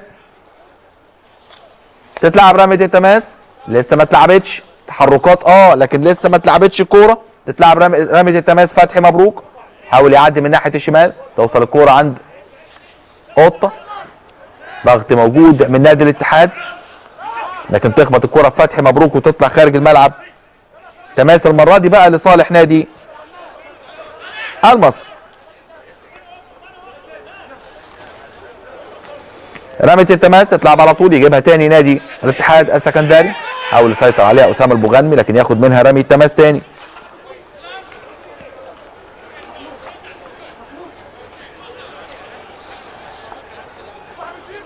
فتحي مبروك على التنفيذ. تتلعب رمية التماس والتشتيت موجود من دفاع نادي الاتحاد النادي المصري البورسعيدي. يضغط ويجيبها تاني المصري. هنا بقى الهجمة المرتدة السريعة. أحمد ياسر هيعملوها إزاي؟ يعكس الملعب حلوة ناحية الشمال. وادي انطلاقة من داوودة. لكن يطلع من قدامه خارج الملعب رامي التماس تاني لنادي المصري من ناحية الشمال. لو داس على كورته داوودة كان هيبقى فيها خطورة شديدة جدا جدا على النادي المصري أو على نادي الاتحاد السكندري من النادي المصري.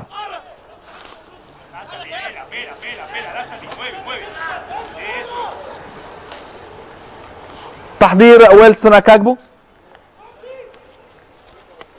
هاتوا خد حلوة. أول مرة نشوف ويلسون اكاجبو في الناحية الهجومية. أول مرة.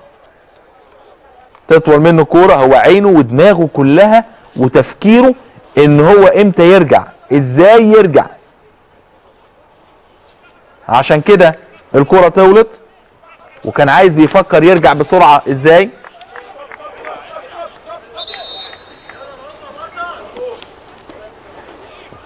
وهنا بقى أول تبديل للنادي المصري.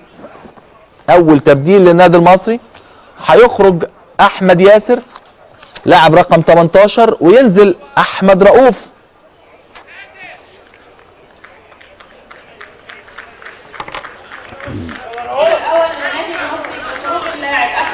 أحمد رؤوف راس حربة صريح.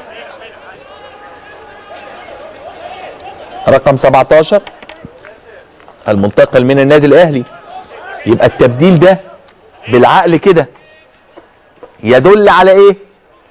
يدل على إن الراجل مكيدة عايز يكسب عايز يخطف عايز يثبت واحد في المنطقة الهجومية وهو أحمد رؤوف. أحمد ياسر بيلعب من تحت.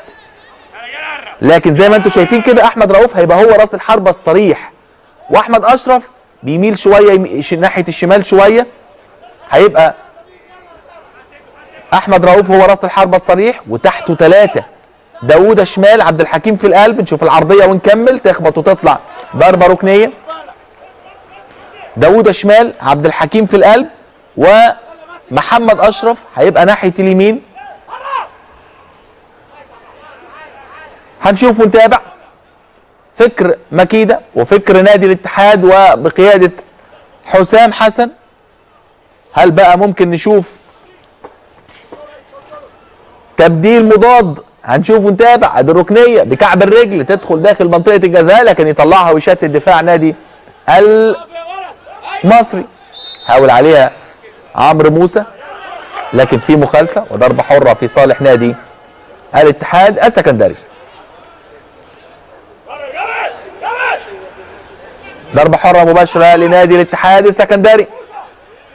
دقيقة 65 الدقيقة 20 من زمن الشوط الثاني والنتيجة ما زالت التعادل السلبي بدون أهداف. هل يا ترى بقى ممكن توصل لركلات ترجيح من نقطة الجزاء؟ هنشوف ونتابع. تسديد أي كلام واستلام وحش قوي يا بنزيما. اللعبة اللي فاتت دي كان لازم تستلمها كويس وتواجه المرمى وتسدد. لكن بنزيما كنتروله ما كانش كويس في اللقطة اللي فاتت. لو استلم كويس كان هيبقى شبه انفراد مع حارس المرمى. رمي التماس ادي بنزيما اللي بنتكلم عنه. محمد فاروق الشهير ببنزيما طبعا نسبة إلى كريم بنزيما نجم الشهير وصاحب الأصول الجزائرية فرنسي الجنسية. لاعب المارينجي لاعب الريال مدريد الإسباني. بالمناسبة بقى النهارده مباراة ولا أقوى في كأس الملك. مباراة ولا أقوى. الساعة 9 إن شاء الله. شوف العرضية ضربة الراس فين؟ لكن يطلع. عواد ترتد مرة تانية. مرة تانية محاولة بنزيما داخل منطقة الجزاء. عرضية والتسديدة قوية. ده ما عملهاش عرضية. ده عملها بازوكا تسديدة قوية. قوية جدا. تطول وتطلع خارج الملعب. ضربة مرمى لكن حلوة. حلوة يا بازوكا. بازوكا بيطلع تسديدة شبه اسمه. شبه اسمه. يا سلام لف وسطه حلو قوي. ولعبها فوق المقص. مفيش يردة أو يردة ونص. بقول لحضراتكم النهارده مباراة ولا أقوى. مباراة العودة في كأس الملك بين الديربي الريال مدريد وأتلتيكو مدريد واللي بيخلي ويزيد من صعوبة اللقاء مباراة الذهاب اللي انتهت بفوز أتلتيكو مدريد بهدفين مقابل لا شيء. يبقى الريال مطالب على الأقل 2-0 عشان يتعادل ويلعبوا ركلات ترجيح أو انه يكسب ثلاثة أو أكتر من فارق اتنين. امور صعبة جدا بالنسبة للريال. مباراة في سانتياغو برنابيو. هنشوف هيحصل إيه وهنشوف النهارده هيحصل إيه في مباراتنا هنا. المصري والاتحاد اللي حتى الآن تعادلها السلبي هو المسيطر على أجواء اللقاء.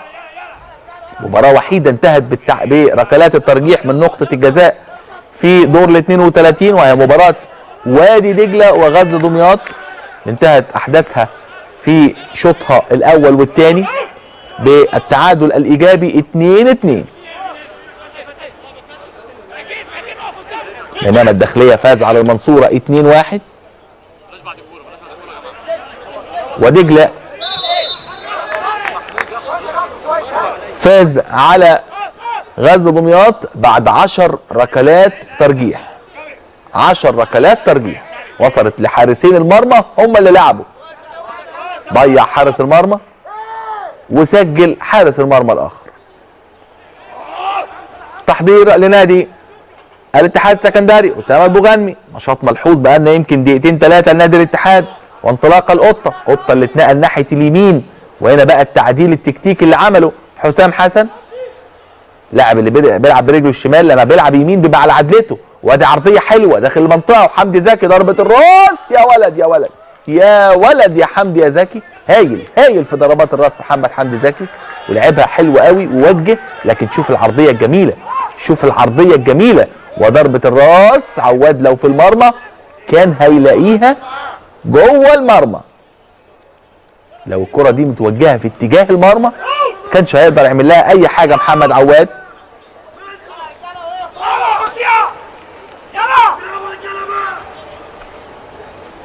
ضربة المرمى.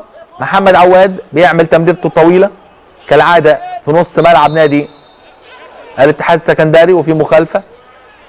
الوثب على الخصم وضربة حرة مباشرة لنادي المصري. هبط أداؤه شوية. بقالنا يمكن 3 4 دقايق النادي المصري. ولكن هنشوف بقى هل هيأكد وادي ركلة جزاء في مباراة دمنهور والوسطى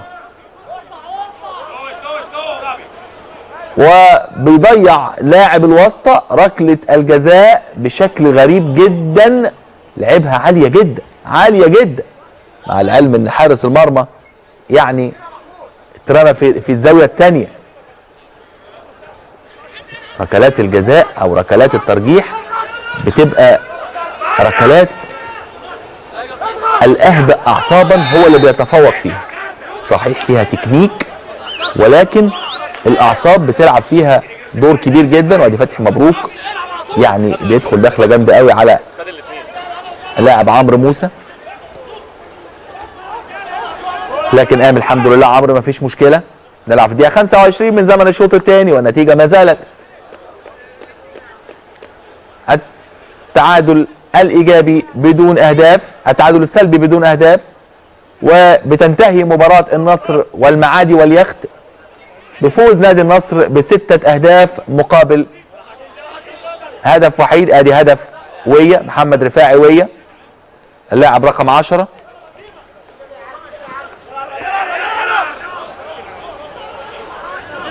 وآدي مرة تانية. هدف اللاعب كريم عطا. لاعب رقم 8 وأهداف الصعيدي طبعا. مباراة كانت حافلة بالإثارة والندية ومليئة بالغزارة التهديفية.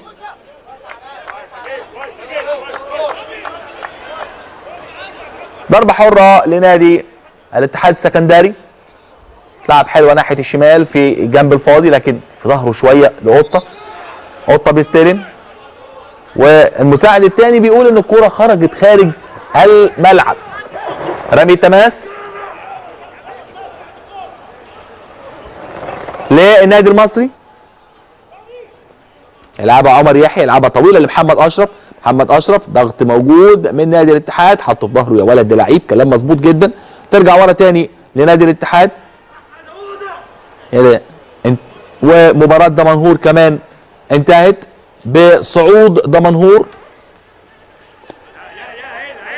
بالفوز اتنين لا شيء على الواسطة والنصر ستة واحد. ألف مبروك لدمنهور ألف مبروك للواسطة. يبقى ألف مبروك لدمنهور ألف مبروك للنصر hard luck للواسطة و hard luck للمعادي واليخت.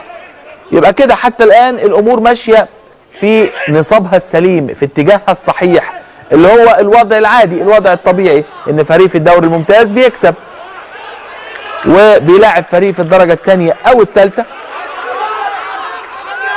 الزمالك كل الفرق طبعا فازت فرق الدوري الممتاز فازت على الفرق الأخرى.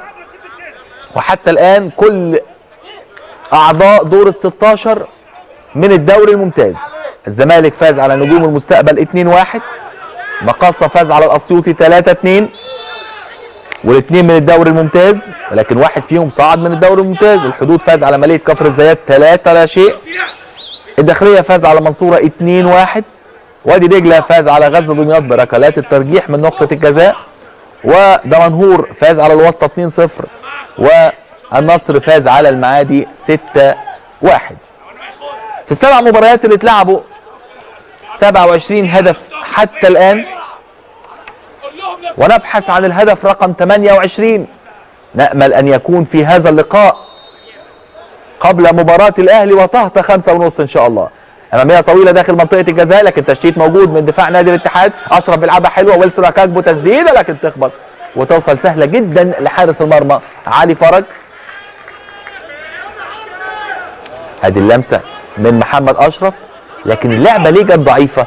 لأن الكرة تحت جسمه تحت رجله. تحت رجله دي يعني مش آه، لازم يمرجح بيعتمد على مرجحة الرجل فقط.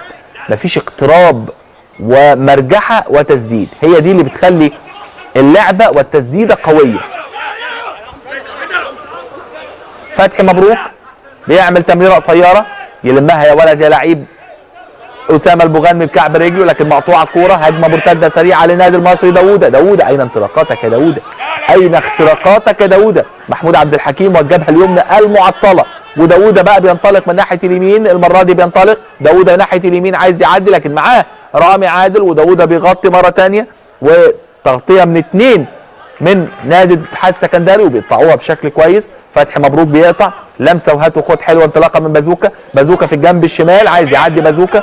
عنده آه، يعني جرأة جرأة هجومية بازوكا. تترد الكورة لمحمد أشرف. السيد عبد العال في نص الملعب بيلعبها لعمرو موسى. بيقرب له داوودة. اللي واضح إن اخد حرية حركة خلاص سيبك من الشمال العب يمين العب في النص مفيش مشكلة. عندك قدراتك عندك مهاراتك. طلع.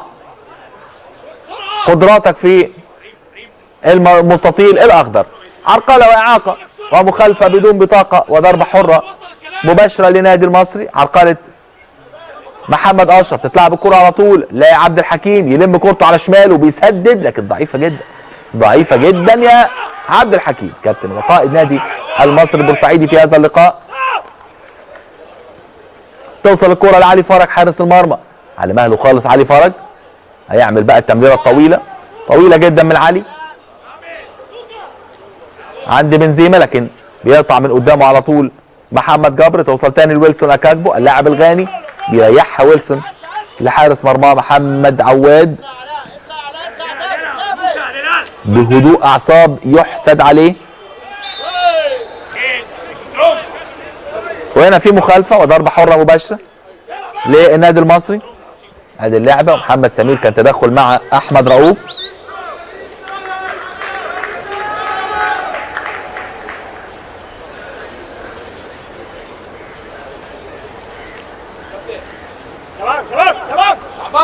نص ساعة مرت من زمن الشوط. الثاني والنتيجة ما زالت. التعادل السلبي بدون أهداف النادي المصري ونادي الاتحاد والضربة الحرة. هيلعبها محمود عبد الحكيم سقط واحدة داخل منطقة الجزاء يطلع دفاع النادي الاتحاد السكندري. هنا بقى المرتدات السريعة بينية من خالد. أسامة آه، ادي خالد رمزي خالد وأسامة البغني بيقرب له وبيظهر له لكن ما ادالوش. عمل له عرقلة وإعاقة. اللاعب عمرو موسى وعطل هجمة يعني كانت ممكن تكون خطيرة جدا جدا.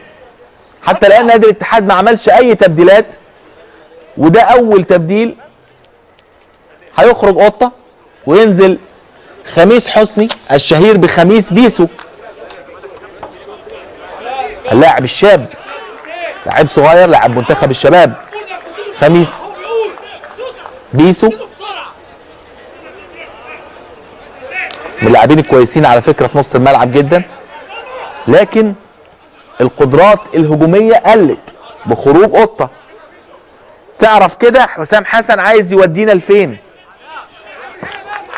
شغلها في مخك كده ودورها. هتعرف حسام حسن عايز يودينا لفين؟ باقي 13 دقيقة. وبكده بيقول لك حسام حسن لو ما جبتش جون ما يدخلش فيا جون. ما اخسرش المباراة على آخر 10 دقايق كده وأنا عامل مباراة كويسة. ركلات الترجيح يبقى فيها كلام تاني. ده لسان حال حسام حسن. الدقايق الأخيرة من عمر اللقاء شعار واحد فقط. ما يدخلش فيا هدف. يرد محمد سمير في نص الملعب. على طول داوودة. فلسف فيها شوية اتقطعت منه. يضغط ويجيبها داوودة مرة تانية يجيبها داوودة بينطلق داوودة يلعبها في الجنب اليمين داوودة في الجنب اليمين انطلاقة من محمود عبد الحكيم. وجهة نظر النهارده مفتقد علاء شعبان في الجنب اليمين نادي المصري. عبد الحكيم بيرجع ورا لعمرو موسى جنبه السيد عبد العال بيلعبها له. السيد عبد العال عشان استلم مش كويس فمرر مش كويس وهنا بقى اتقطعت الكورة. هجمة مرتدة سريعة ادي بقى انطلاقة من رمزي خالد في الجنب اليمين يلعبها لبنزيما. بنزيما يرجع ورا. توصل الكورة عند بيسو أو اللمسة من خميس بيسو. وادي الدفع دفعه قويه جدا. عبد الرحمن فاروق كان عايز يعدي من ناحية اليمين لكن بيديله كتف كده وكوع. عمر يحيى وياخد منها ضربة حرة مباشرة النادي الاتحاد سكندري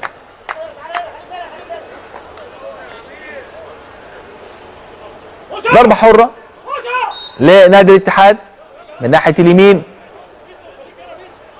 تتلعب على طول عرضية داخل المنطقة في منتهى الخطورة ضربة الراس. هنا شوف اللي مركز الوحيد اللي مركز الوحيد هو عواد. واضح إن في شد لبازوكا في اللقطة اللي فاتت. يا سلام يا سلام على اللقطة الحلوة. يا سلام عليك يا عمرو يا موسى يا سلام عليك يا عمرو يا موسى أدي كانت اللعبة اللي فاتت وأدي على شعبان.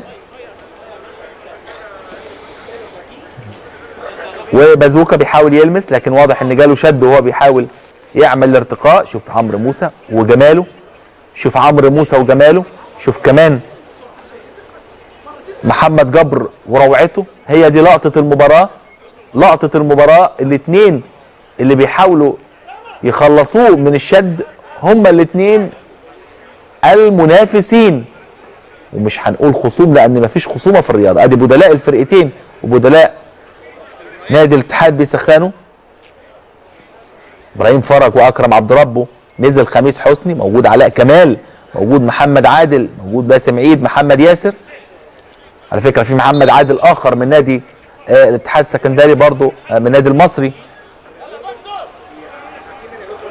موجود مع نادي مع آه منتخب مصر الأولمبي عنده مباراة أخرى مع المنتخب الغاني. اتمنى له التوفيق طبعا. فاز في المباراة الأولى 3-0 وأداء راقي من لاعبي الفريقين محمد عادل جمعة باك الشمال لاعب هايل. تحضير للنادي المصري. توصل الكرة لعمرو موسى ناحية الشمال. ادي بقى عمرو يحيى عمر يحيى اللي بيلعب مكانه مكان محمد عادل لاعب المنتخب الأولمبي اللي بقول لحضراتكم عليه. ونزل الحمد لله بازوكا مفيش مشكلة. شد في عضلة السمانة أو الكاف ماسل. وبينزل على طول انطلاقة من ناحية الشمال وتدخل موجود من نادي الاتحاد وما فيهاش حاجة. هنا بقى المرتدات السريعة هيعملوها إزاي؟ بينية حلوة لكن الراية برضه الراية الراية موجودة ظبطوا ظبطوا أحمد عطية. الراية موجودة والصفاره موجودة والتسلل على نادي الاتحاد. سكندري نشوف اللعبة مرة ثانية ادي البينية. تمام التمام. تمام التمام. وضحت الرؤية. وضحت الرؤية. تحضير للنادي المصري. الدقائق الأخيرة من عمر اللقاء. يا ترى حد هيخطف بطاقة الصعود ويجري؟ حد هيخطف ويجري؟ هنشوف ونتابع. ادي حارس المرمى علي فرج. حسام حسن والتفكير العميق. التفكير العميق من العميد حسام حسن. خبرة كبيرة مفيش كلام. حسام حسن في الملاعب المصرية والعالمية مش المصرية بس. وليد 8 10 8 66 حسام حسن 48 سنة.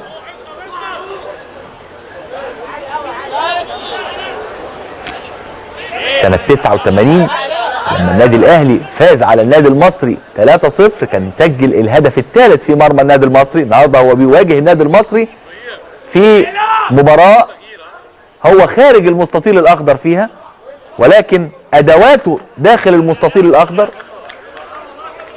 بشخصه استطاع أن يكون سبب في الفوز.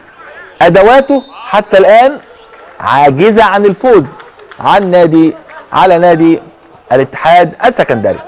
ادي عرقله واعاقه من لاعب نادي الاتحاد السكندري اللاعب فتحي مبروك ال back الشمال لنادي الاتحاد السكندري. ضربة حرة مباشرة في مكان حلو جدا في مكان رائع جدا. قد يكون هناك جديد. وارد جدا. ادي العرضية داخل المنطقة وضربة الراس ولكن سهلة في إيد علي فرج حارس المرمى.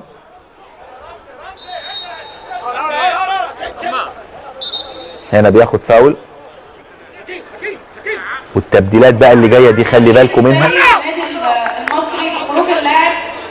تبديل للنادي المصري. هيخرج داوودة وينزل عبد الله الشحات. ده تبديل ركلات ترجيح. ده تبديل ركلات.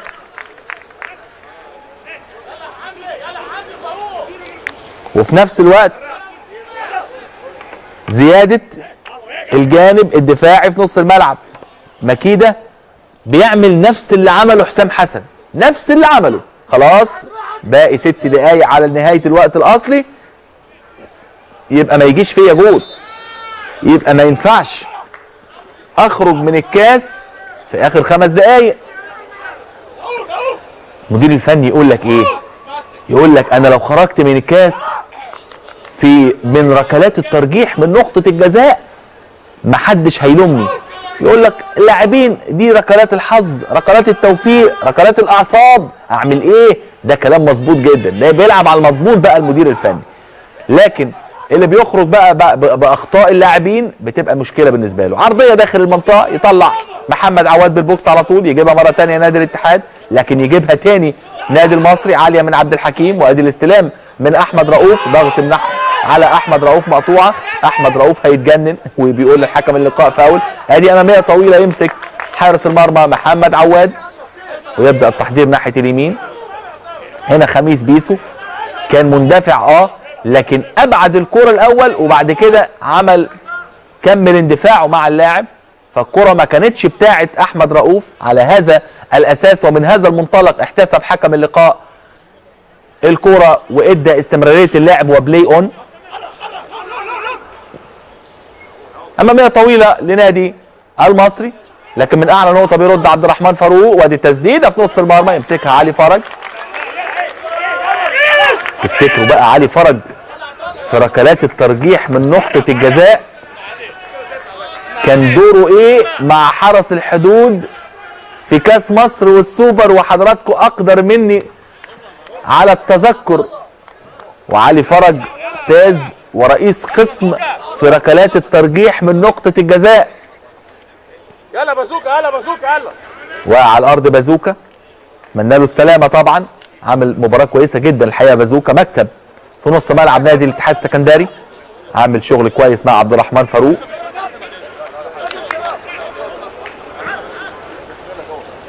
ولكن لازم في ركلات الترجيح ممكن توصل زي امبارح كده كل اللاعبين يلعبوا. عشان كده هيخرجوا وينزل محمد عادل وتبديل محمد عادل ده تبديل ركلات ترجيح. طبعا مش قادر يكمل محمد بازوكا. فاضل ثلاث دقايق ونزل محمد عادل.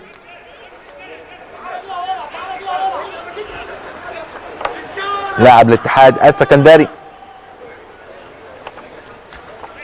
ونحن الآن في طريقنا إلى ركلات الترجيح من نقطة الجزاء. إلا لو حد بقى عنده رأي تاني من الفريقين واللي عنده رأي تاني ده هتبقى صدمة كبيرة جدا للفريق التاني. هتبقى صدمة كبيرة جدا. لو حد خطف بطاقة التأهل وجري هيخطف البطاقة ويجري لأن ما حدش هيقدر يحصله. شوف اللعبة وادي انطلاقة من ناحية اليمين محمد عادل داخل المنطقة بنزيما ادي السندة ممكن مرة تانية ادي عادل أول لمسة اتقطعت منه يجيبها نادي المصري المرتدات السريعة خلي بالك من المرتدات السريعة محمد أشرف وفي تبديل آخر كلها تبديلات ركلات كلها تبديلات ركلات ضغط موجود من محمد حمدي زكي ويمرر بشكل سليم. النادي المصري ترجع ورا خالص لحارس المرمى محمد عواد. عواد بيعمل تمريرة طويلة جدا تعدي نص الملعب لكن استلام رائع امتصاص بباطن القدم على أعلى مستوى من فتحي مبروك. وانطلاقه في الجنب الشمال باسامه البوغانمي بيعمل هات وخد حلوة في مساحة. أسامة البوغانمي عايز يعمل العرضية ضغط عليه يمرر بشكل سليم مرة ثانية وأدي البينية على حدود منطقة الجزاء. محمد حمدي زكي يلعبها لبنزيما وأدي السنده بنزيما. حكم اللقاء مدي استمرارية اللعب. ال play on مفيش حاجة. والكرة في مصلحة نادي الاتحاد. مرة ثانية محمد عادل يلعبها في الجنب اليمين ل بيسو خميس بيسو عرضية داخل المنطقة ويطلع يطلع على طول وبدأ الشد يبقى موجود بدأ الشد موجود والمجهود الكبير جدا داخل المستطيل الأخضر الاثنين وقعوا في نفس الوقت وبدأت اللعيبة تتساقط اللعيبة بدأت تتساقط. محمد جبر واقع وعلاء شعبان كمان. وقاموا الحمد لله. آخر دقيقة ونص على الوقت الأصلي. ياه لو حد خطف وجري. يا لو حد خطف وجري هيبقى اسمه الخطاف. هيبقى اسمه الخطاف على طول. آدي أسامة البوغني وأدي العرضية الأرضية الغير مرضية والتشتيت تاني من دفاع نادي المصري. ولكن المرة دي بقى طلعت رامي التماس. وحشة جدا بيلوم نفسه طبعا. لا تلومن إلا نفسك. لأن الكورة ما فيش حد مشترك معاك فيها ما فيش حد ضاغط عليك فيها. لعبها وحشه قوي الحقيقة أسامة البوغني مع إن عنده أحسن من كده كتير. رمي التماس من ناحية اليمين لنادي الاتحاد. السكندري في الدقيقة الأخيرة تلعب قصيرة. مرة تانية هتاخد أسامة البوغنمي يلم على شماله ممكن العرضية. عرضية مش معدية محمد عادل. توصل لأسامة البوغنمي ضغط موجود من نادي المصري. هنا بقى المرتدات السريعة. ويلسون أكاكبو اللاعب الغاني القادم من نادي تشيلسي. الغاني عنده 24 سنة هذا اللاعب. قطعت منه كورة توصل لنادي الاتحاد السكندري فتحي مبروك اتقطعت لكن تيجي تاني لمحمد حمدي زكي لكن بعدت. بعدت عن متناول رجله. قبل ما نشوف إيه اللي حصل الكورة بعدت. شوف اللعبة اللي فاتت كان فيها تدخل قوي على فتحي مبروك وإدى استمرارية اللعب على اعتبار إن الكورة في مصلحة نادي الاتحاد السكندري وأخذ منها رمي التماس. نادي الاتحاد ثلاث دقائق وقت محتسب بدل ما تضيع أكد لحضراتكم مفيش وقت إضافي. في مباريات دور ال 32 وفي حالة استمرار التعادل هنلجأ إلى ركلات الترجيح من نقطة الجزاء مباشرة. مفيش وقت إضافي. بنلعب في الدقيقة الأولى من الوقت المحتسب بدل ما تضيع والنتيجة ما زالت. التعادل السلبي بدون أهداف نادي المصري ونادي الاتحاد. دور ال 32 من مسابقة كاس مصر الموسم الكروي 2015 والتحضير لنادي المصري من ناحية الشمال عمر يحيى توصل في نص الملعب للسيد عبد العال. وادي هنا بقى التبديل الثالث والأخير. هينزل أحمد سمير وهو تبديل ركلات ترجيح أيضا. أحمد سمير يا ترى مين ممكن ينزل مكانه أحمد سمير؟ أعتقد ممكن يكون مكان محمد أشرف. ويبقى عنصر من عناصر الخبرات في ركلات الترجيح. لكن هو الأدرى بقى مين بيعرف يلعب ركلات ترجيح عنده مين ما بيعرفش. ادي انطلاقة من ناحية الشمال ولكن عرقلة واعاقه خلفه بدون بطاقة وضربة حرة. ضربة حرة لنادي الاتحاد السكندري. كانت انطلاقة هايلة من ناحية الشمال عند اللاعب رمزي خالد ولكن في إعاقة بالإيد وضربة حرة مباشرة. لنادي الاتحاد السكندري في الدقيقة الثانية من الوقت المحتسب بدل من الضايع. يا ضربة حرة في مكان خطير جدا في مكان خطير جدا قد يستغلها نادي الاتحاد السكندري في الثواني الأخيرة من عمر اللقاء. مش هنقول بقى الدقايق ما عادش خلاص دقايق لأن خطيرة جدا في توقيت صعب جدا. يا راجل ده كلام يا راجل ده كلام. يعني حتى ما ما اداش فيه فرصة إن ممكن يكون في لعب. الكورة خلاص خلصت من بدايتها. خلصت من بدايتها. تطول وتطلع على طول خارج الملعب. ضربة مرمى والتبديل الأخير لنادي المصري. محمد جبر رقم 13 ونزول أحمد سمير رقم 4 هينزل أحمد سمير. رقم أربعة. وهنا برضو رمزي خالد هيخرج وينزل باسم عيد. كل دي بقى تبديلات ركلات ترجيح. وهنا على الجنب الآخر محمد جبر هيخرج وبينزل أحمد سمير. دول لاعبين بيجيدوا تسديد ركلات الترجيح. لأن خلاص لم يعد متبقي من عمر اللقاء إلا ثواني قليلة. وبالفعل يطلق حكم اللقاء صافرة معلنة نهاية أحداث الشوط الثاني وليس المباراة. تعادل سلبي بدون أهداف نادي المصري ونادي الاتحاد. إذا يلجأ الفريقان إلى ركلات الترجيح من نقطة الجزاء. لحين لعب ركلات الترجيح من نقطة الجزاء ننتقل إلى كابتن شوبير وضيوفه الكرام والكورة في الملعب. شكرا لكابتن شوبير. والآن أعزائي المشاهدين موعدنا مع الإثارة. الإثارة والمتعة وقمة الإثارة في كرة القدم هي ركلات الترجيح من نقطة الجزاء. بالأمس شاهدنا إثارة ما بعدها إثارة 10 ركلات ترجيح في مباراة آدي الروح الجميلة. آدي الروح الجميلة. 10 ركلات ترجيح في مباراة وادي دجلة وغزل دمياط. هل يا ترى هنوصل لهذا العدد النهارده؟ ونوصل ل... ل... لما نشوف كده علي فرج ومحمد عواد بيسددوا هنشوف النهارده بقى ونتابع. ما عادش فيه تحفظ خلاص ما عادش فيها كلام. يا تجيب يا تخيب يا تصيب. ما فيش فيها كلام النهارده. واضح إن محمد عواد هو حارس المرمى لنادي المصري. يبقى اذا اللي هيسدد الركلة الأولى لاعب من نادي الاتحاد السكندري. يا ترى هيكون مين هذا اللاعب؟ يا ترى مين اللي عنده أعصاب اللي هيبدأ ويفتح ويقص الشريط دايما؟ أحسن لاعب عندك في الفرقة لما تيجي ترتب كده بيكون أحسن لاعب هو اللي بيبدأ أو رقم خمسة. محمد سمير هو اللاعب رقم واحد. محمد سمير هو اللي هيسدد لنادي الاتحاد السكندري ومواجهة فردية مع حارس المرمى محمد عواد ومحمد سمير والركلة الأولى ويصد عواد. ويصد عواد يا سلام يا عواد. رائع رائع عواد. لعب على طريقة التوقع.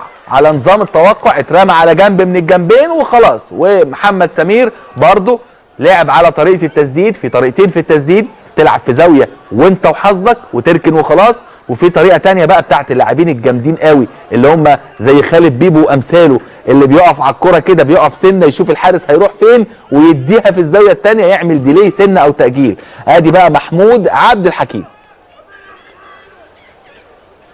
وركله الترجيح الأولى للنادي المصري الحاوي.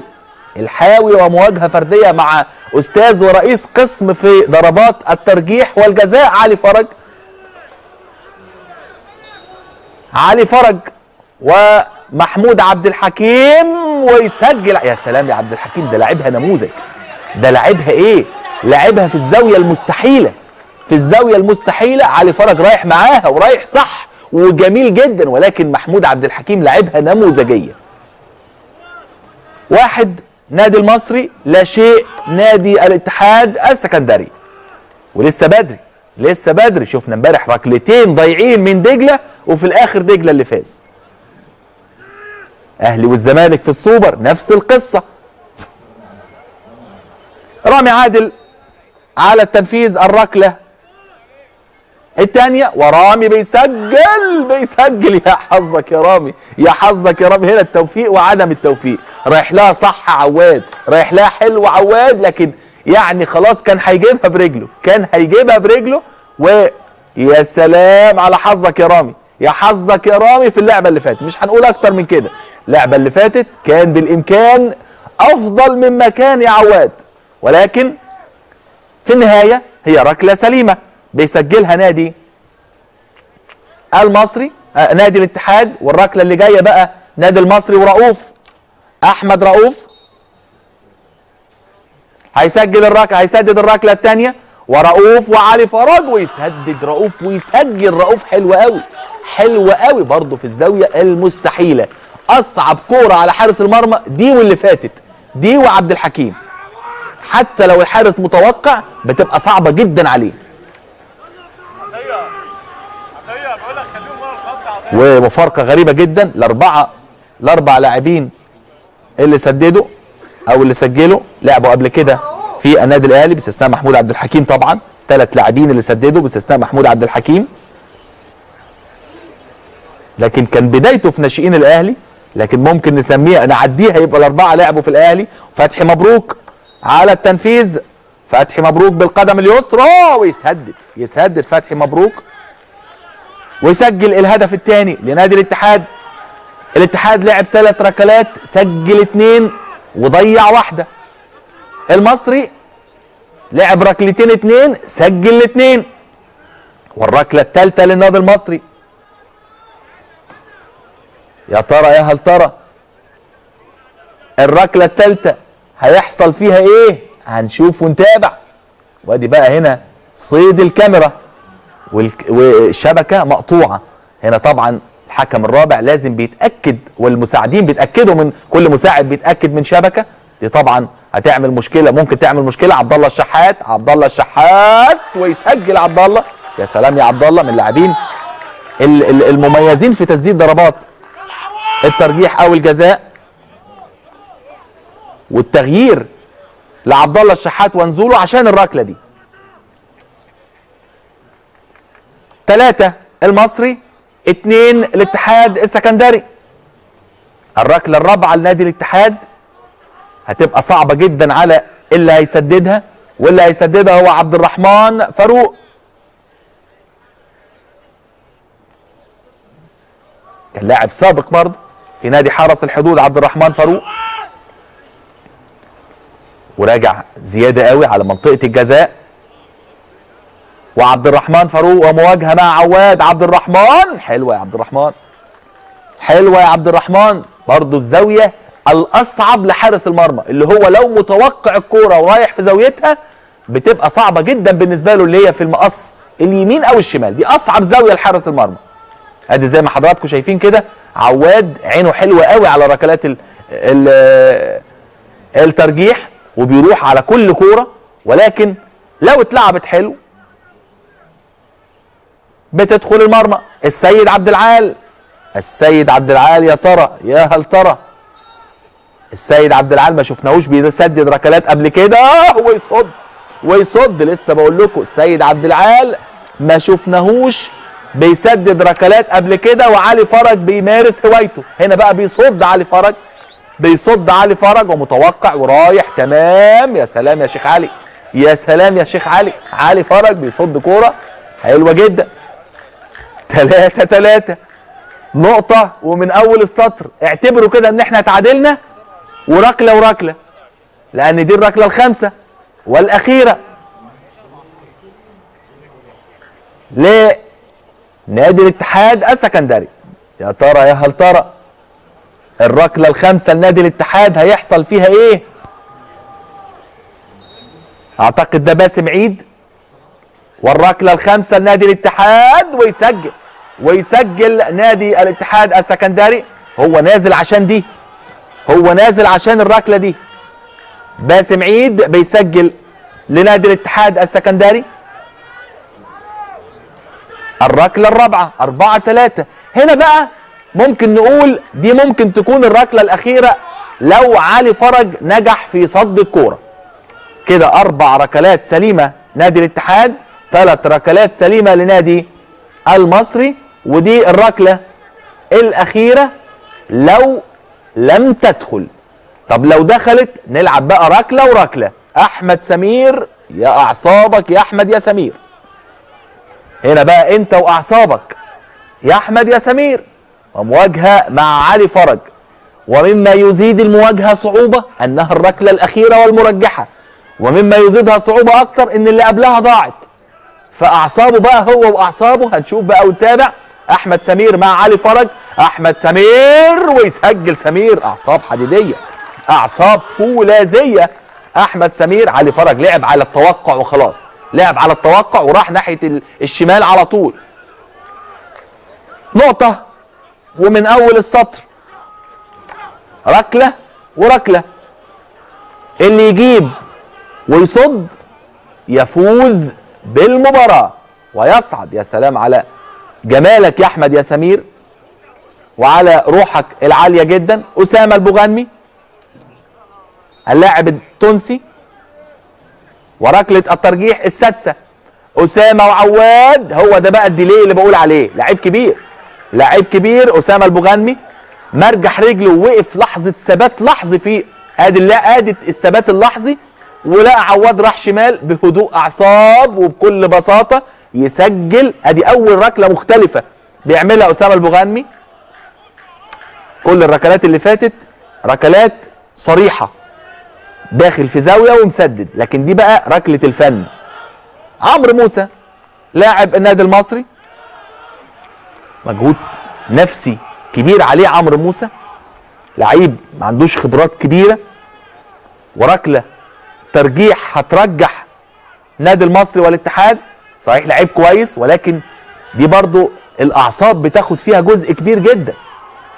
والثبات الانفعالي عمرو موسى وعلي فرج. عمرو موسى! يا سلام يا شيخ علي يا سلام يا علي يا فرج. أستاذ ورئيس قسم ركلات الجزاء والترجيح بنادي الاتحاد السكندري بيصعد بنادي الاتحاد السكندري إلى دور ال 16 من مسابقة كأس مصر كما فعلها مع نادي حرس الحدود وصعد بنادي حرس الحدود على حساب النادي الأهلي بيعيد علي فرج ويكرر التاريخ نفسه ولكن مع نادي الاتحاد السكندري ويصعد بهم إلى دور ال 16 ألف مبروك لنادي الاتحاد السكندري. وهارد لك لنادي المصري البورسعيدي. سعدت باللقاء مع حضراتكم المعلق الرياضي رامي بهجت. إلى اللقاء في لقاءات أخرى قادمة إن شاء الله. أما الآن مع كابتن شوبير وضيوفي الكرام الكابتن خالد بيبو والناقد الرياضي خالد توحيد فإلى هناك.